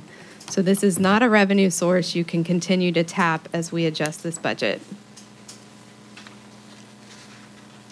One more slide on fund balance. This graph depicts your next year's amount, how much greater it is, um, trying to offset inflationary increases and reduced revenues um, with this one-time revenue source.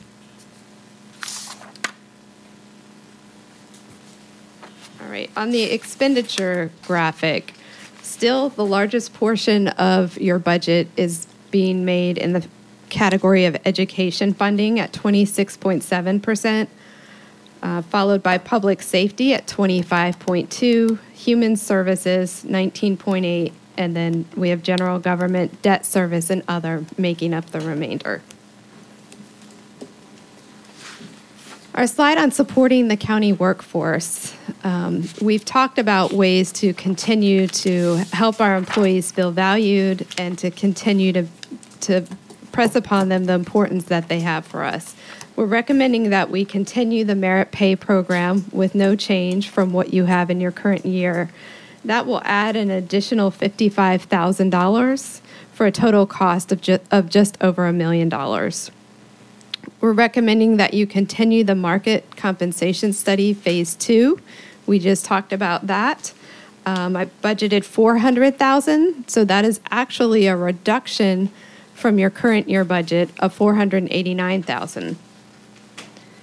We've mentioned the investigator stipends. This is for our sheriff's officers. Right now, um, this, there's not a separation between the deputy patrol and investigator positions. So we would recommend adding $140,000 for that pay stipend. And then finally, recommending, uh, continue to recommend an annual cost of living adjustment for employees. Uh, You'll recall in the current fiscal year, you um, gave a 4% cost of living adjustment. We're recommending a 3% next year, so that is actually a reduction of $719,000 in cost. The total cost of the COLA would be 1.5 million.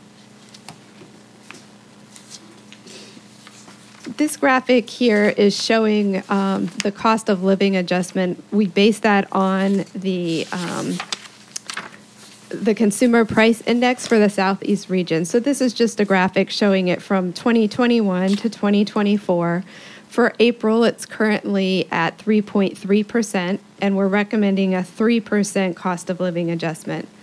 We found it interesting that the federal government is this year providing a 3.2% cost of living adjustment for Social Security and other benefits. And we'd like for Alamance County to continue to make these adjustments as a proactive way to help uh, reduce the need for large compensations adjustments when you get behind and you don't keep these up. It becomes painful to come up with a large amount of money to make up for those years that you don't continue to make this. I think we've heard a lot about that tonight. Yeah. Yeah. We are seeing some improvement in county vacancy rates. So if you'll look all the way on the right side of the screen, that's our county-wide percentage. And I'm showing the yellow bar for fiscal year 22, 23, the blue bar for fiscal year 23, 24 as of April 30th. So countywide, last year at this time, we were at 16%. We're currently at 14%. And I'm seeing some improvements. I put green check marks over the three departments that were featured in phase one of the market study. So for detention, we went from 28 to 27. That's a small uh, dip there. Uh, EMS 14 to 13, and then social services 23 to 17. Like your current year, as a spending reduction and a cost savings measure, based on our historical vacancy trends, we're not budgeting for all the vacant positions that we have in detention, DSS, or EMS. That creates large lapse salary pots of money, and so we are taking those funds. And if we come to a point where we have a lot of increased hiring activity, we would need to come back to get some of those positions funded. But those vacant positions will remain. But typically, we don't have these field positions anyway. That's correct. The historical data is not shown to have every position filled in those three departments, so we think it's unlikely that will happen next fiscal year. So we're not trying, we are not tying up funds for vacant positions in those departments. Here's a sampling of some of the inflationary impacts that we've seen in this budget. Um, We're continuing to face high operating or increased operating costs for high inflation, as most other counties are. And in order to provide services at the current level, we are trying to do a thorough review of all of our contracts. We're going to take that on this summer between the budgeting and finance departments to make sure that our contracts are competitive and that we're able to manage some of these cost escalations moving forward. Cost reductions. So we received requests this year um, that were substantial, and I, from the requested amount, I have cut $19.8 million from what has been requested. This was not an easy feat. This took a lot of analysis to get down to the levels that we're recommending. We received requests for 35 and a half new full-time positions, and unfortunately, I was not able to fund any new positions that would have um, been funded out of your general fund. The only new positions in next year's budget are those that have funding outside of your general fund, so they're not impacting your tax rate in any way. One of those is a dental clinic foreign language interpreter. This is being paid out of charges for services with the revenue that's generated in the dental clinic. And the other two positions you'd already approved during our discussion of opioid settlement funds. One is a behavioral health peer support specialist, and the other is a recovery court coordinator. Again, no impact on your general fund. We received requests for 26 new vehicles, and I am only recommending from general fund one ambulance replacement that you've got to keep pace with. It takes us over a year from the time we place an order to actually get a new ambulance. And the second is an ambulance remount. That will cost 500,000 for those two. Also included are some equipment purchases for the landfill. Again, not coming out of your general fund. Those are paid out of the landfill fund, a separate enterprise fund. And then I do have 16 sheriff vehicles uh, recommended, although not coming out of your general fund. We would recommend that we would place this within the capital improvement plan and add this to the financing, the uh, installment financing that we discussed because I simply couldn't come up with the revenues to purchase those outright. Um, I've asked you this before. What are all the sheriff's cars in the courthouse parking lot? Are they old or are they driven or are they going, I mean, what is that? There's a lot of them. I don't know what they are. I'm just curious why they're there. I'm not sure exactly what all of those are, other than we have a policy in place. When they reach a, thir- a certain threshold Mhm. mileage, we look at a replacement Okay. and not adding on to the fleet. Right. So the vehicles that we're talking about uh, purchasing or, or borrowing funds to purchase would be replacement, uh, not adding to the fleet. But I'd be happy to follow up with the sheriff and, and get an answer for you back at Okay. one of our work sessions. I sessions. was just curious because I've just seen them over there in the parking lot. There was are a lot of those, yes. Okay. Moving on to education. So the Alamance Burlington School System um, submitted their budget request to us late. And we pulled the general statute to understand exactly what this meant. I will say that I received a Google link with some PowerPoint slides that was emailed to me at 5:04 PM Friday, May 17th. You'll see that the yellow section highlighted says that the Board of Education is to submit their entire budget not later than May 15th. And then I want to highlight the last uh, sentence of this because this was eye opening for us. At the time of the submission of the budget, the Board of Education shall also submit to the Board of County Commissioners in writing the academic performance of the schools, including school performance grades of each schools, any schools identified as low performing or continually low performing, and efforts by the local Board of Education to improve those identified schools' performance. I'm not sure that we're meeting the requirements of the general statutes in regards to the school budget submission.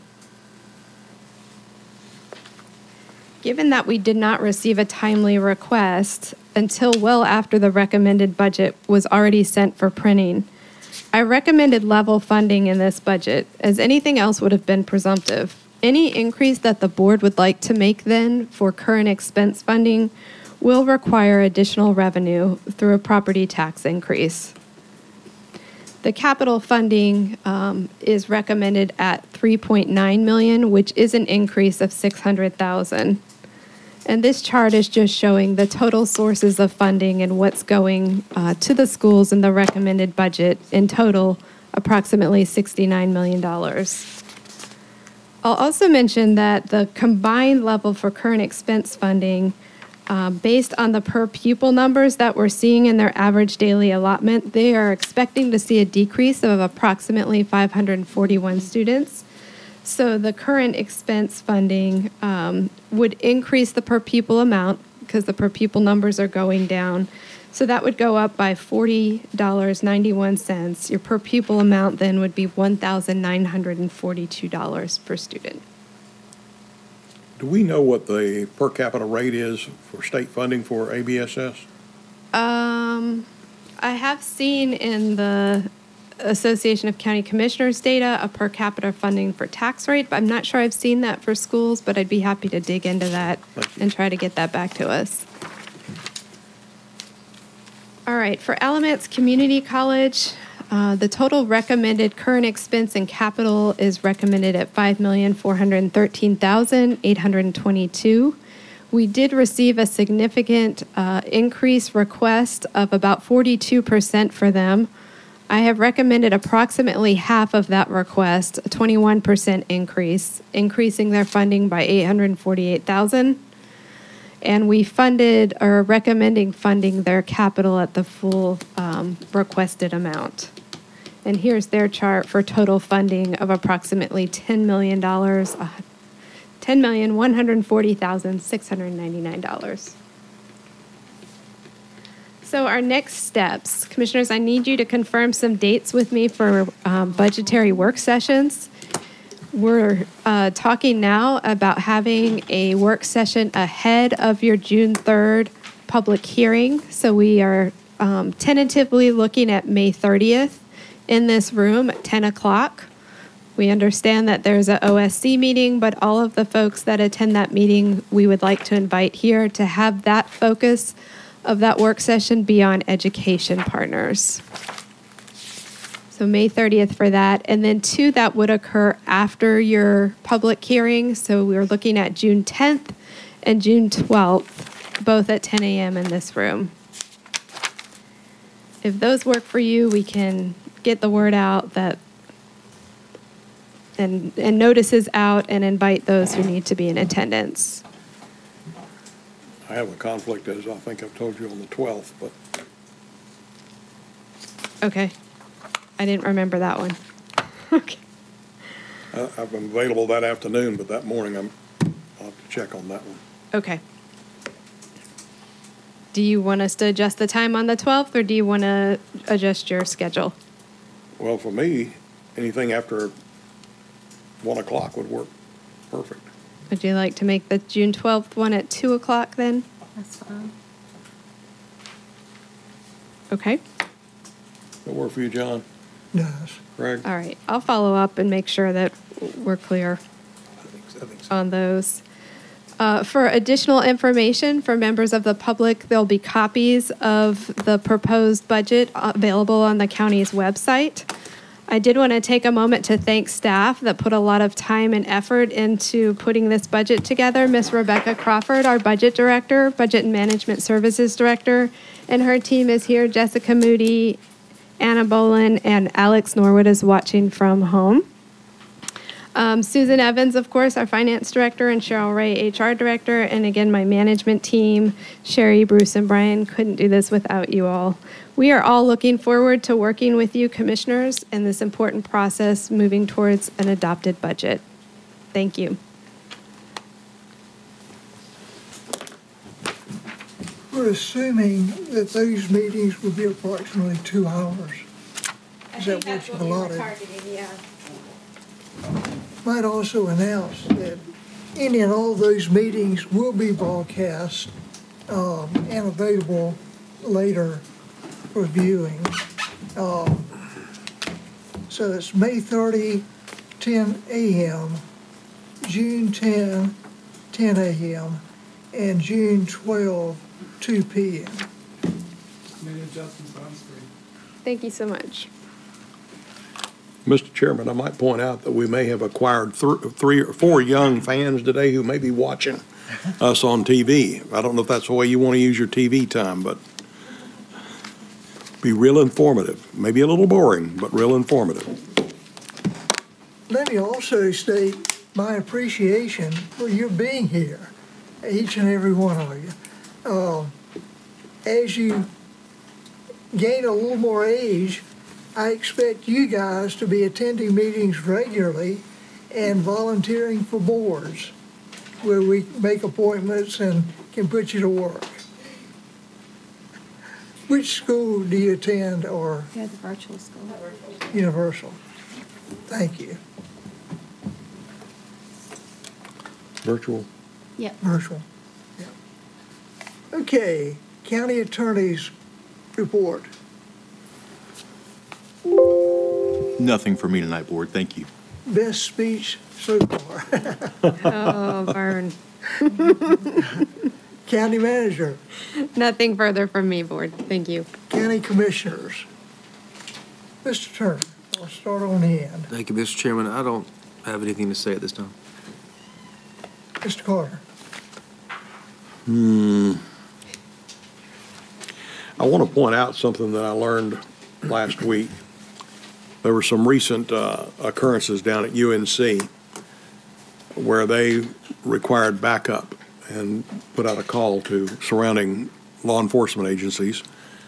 Our Alamance County Sheriff's Office sent our search team, and that's, uh, some agencies would call that SWAT, and our Bearcat down there.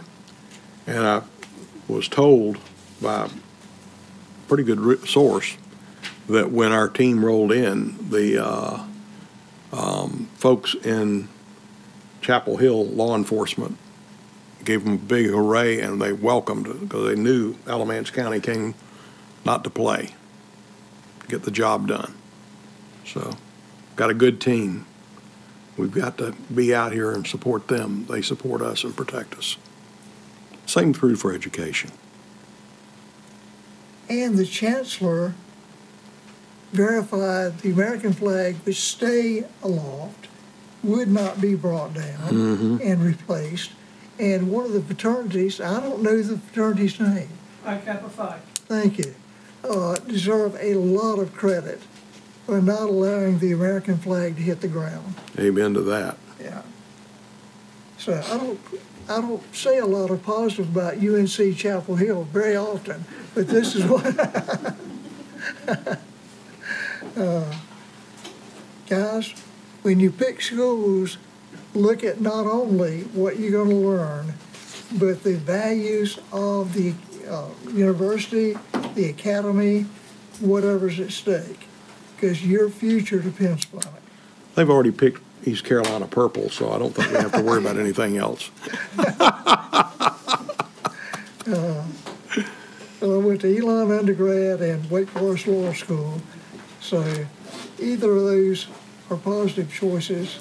Um, I like personally, if I was going to school today, I'd be looking at Liberty. Mr. Turner, any comments? Uh, no, thank you, Mr. Chairman. Ms. Thompson? Um, yeah, I, I just want to, I want to thank some people that, of something that's happened, and then I've got something else I need to say. Um, a couple of weeks ago, I was invited to North Graham Elementary to their art show, book fair, and school drama play about the solar system by the third grade class, and it was amazing. When I came in front of the school, I noticed the garden area in the traffic circle. It was all grown up with weeds. That is the first impression of the school. Although many times what is inside doesn't match what is outside, but appearance is a big deal. The landscaping of the schools used to really bother me when I was on the Board of Education, and quite frankly, it still does. When I left North Graham, I made a decision to fix it. I got permission from the principal to see if I could get volunteers to pretty it up. I posted what I wanted to do on Facebook, and it only took three days to get people to help. I want to thank the amazing people that volunteered with me to fix up the garden area at the front of the school. Boy Scout Troop Number 44 leader Courtney Bailey, along with adult leaders David Reynolds and Dawn Shayer, and her amazing scouts Chase, Xavier, Christian, and Mays. Retired Burlington Police Officer Doug Murphy, who owns Murphy Pressure Washing. Brian Hurdle of Uncle Cuz Land Services, and Caleb Massey of Askew Peterson Monuments. These folks didn't think twice about giving of their self and of their times. I just really want to thank them. It looks amazing, and it needs to stay that way for the people that go to and serve at North Graham Elementary School because they're worth it. I, I spoke to a teacher today, a friend of mine, my best friend, she's retired, and she, when I talked to her, she said, You are feeling exactly like I did the last two years I was teaching. She said she was overwhelmed, she, she stayed upset a lot, and it was really affecting her health. So I'm going to tell you this because after school reopened following the mold nightmare, I went to every school. It took me three days to get across this county just to check on them. I still know a lot of the same people when I was on the Board of Ed, and many times they can feel like they're on an island all by themselves. Patsy Simpson, Tony Rose, and I used to visit the schools all the time when we would get calls from teachers, and it did not sit well with central office, but we really didn't care. I have seen dirty and I have seen slack from cleaning companies, the ones that are paid millions of dollars. I have seen the wrong type of paint used, and it would peel right off, and I see the bad outcomes of that to this day. At a visit after mold, I was at a school where bugs were literally waxed into the floor due to the floor not being swept. Chairs were pushed into the corner and waxed around them, but not moved back to wax when the chairs were, and you could see the obvious difference in the floor. I reported it. That is a custodial issue. I saw the hot mess at Graham when it flooded once again. I saw the places where it flooded at Western High. Mud, muck came underneath the door where the outside drain was completely covered. I saw the Eastern EC teacher squeegeeing the water in his room, big electric fans running, and his entire EC class of students crammed into another classroom due to drainage problems from the big wall outside of the classroom. The big wall. Let me take you back to Graham High School. I was there two weeks ago, where that big wall around the school has the doors open that are locked, that are not locked because security has yet to be put in place. The theory of the walls was due to many school shootings at that time, and this was a serious safety measure. But it is not a safety measure until those metal doors are closed by a security system. Don't for a second think that a school shooting cannot happen here. Then at the back of Graham High, the Pothole Festival, I'll call, I saw massive potholes with water standing under parked cars and the gates being hit by construction vehicles still not repaired, the athletic field building. In July 2019, when on the Board of Ed, I complained about the mess it was. I have pictures. It got fixed September 2019, and guess what?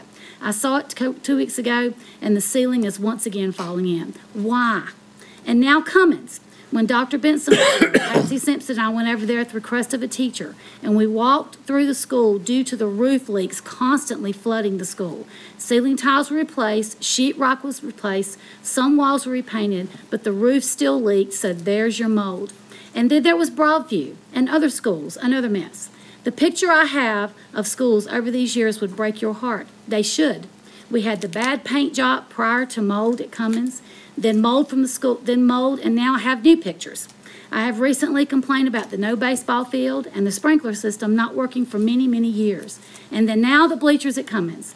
Inside the rooms still have not been finished post mold at Cummings. The paint is still embarrassing at Graham Hall also, the conditions of the walls, open ceiling areas, on and on. I don't know why we think it is okay for children and their teachers to work and attempt to learn in this kind of environment. We don't do it, and you wonder why teachers are leaving.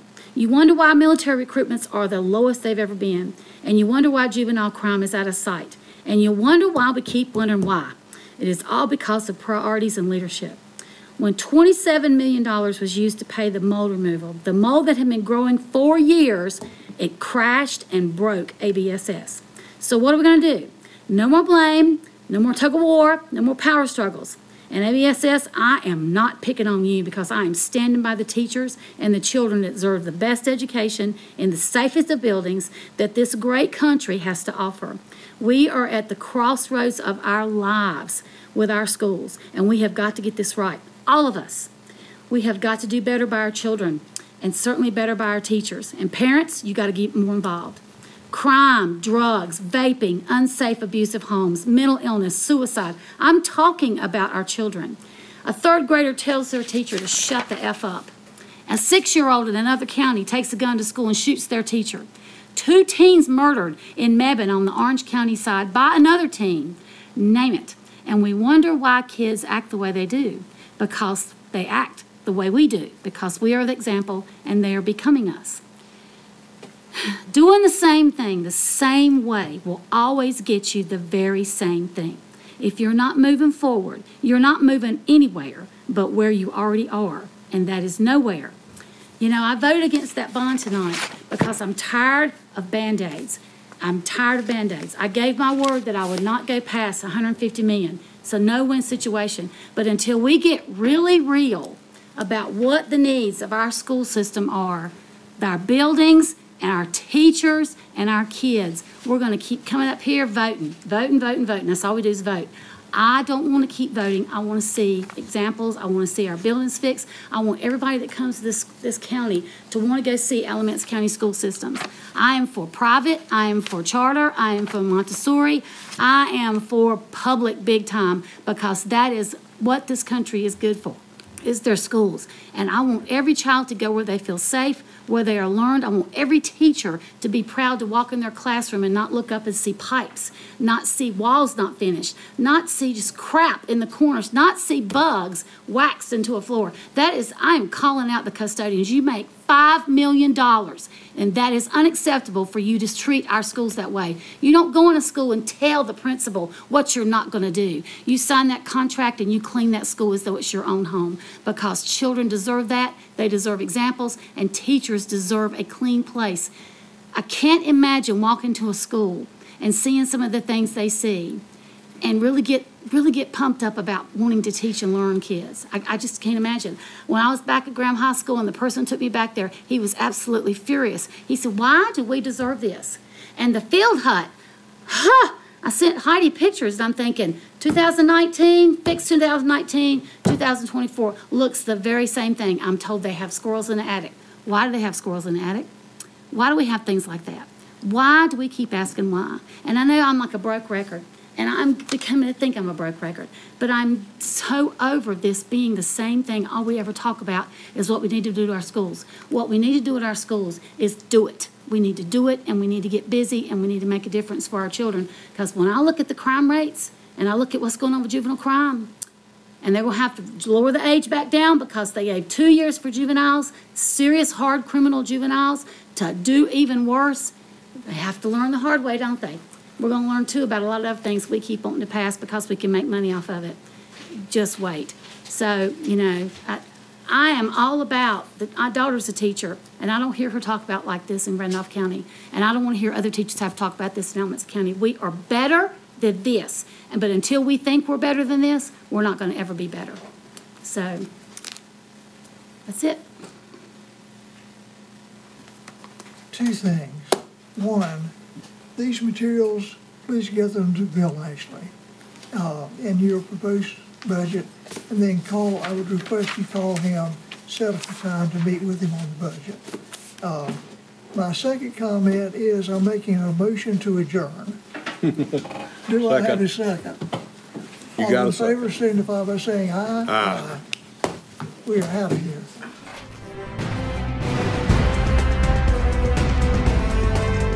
Thank you for watching the Alamance County Commissioners meeting. Commissioner meetings typically occur on the first and third Monday of each month in the Commissioners' Chambers at the County Office Building at 124 West Elm Street in Graham.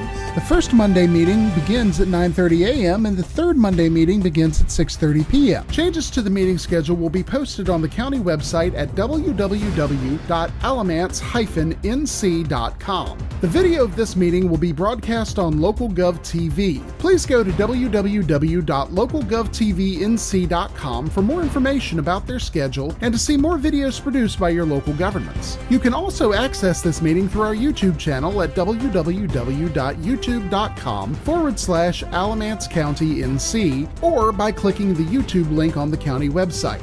Technical questions regarding this meeting's broadcast or production may be sent to our county webmaster at webmaster at alamance-nc.com. This address is for technical questions only. Comments and questions about the content of this meeting may be made to the commissioners themselves. You can find their contact information at the Alamance County website at www.alamance-nc.com. There, you can click on the link that says County Commissioners to learn more about the commissioners, read minutes and agendas of commissioner meetings, and find other information about the county commissioners. You can also send mail correspondence to County Commissioners, 124 West Elm Street, Graham, North Carolina 27253. Again, thank you for tuning in to the Alamance County Commissioners meeting.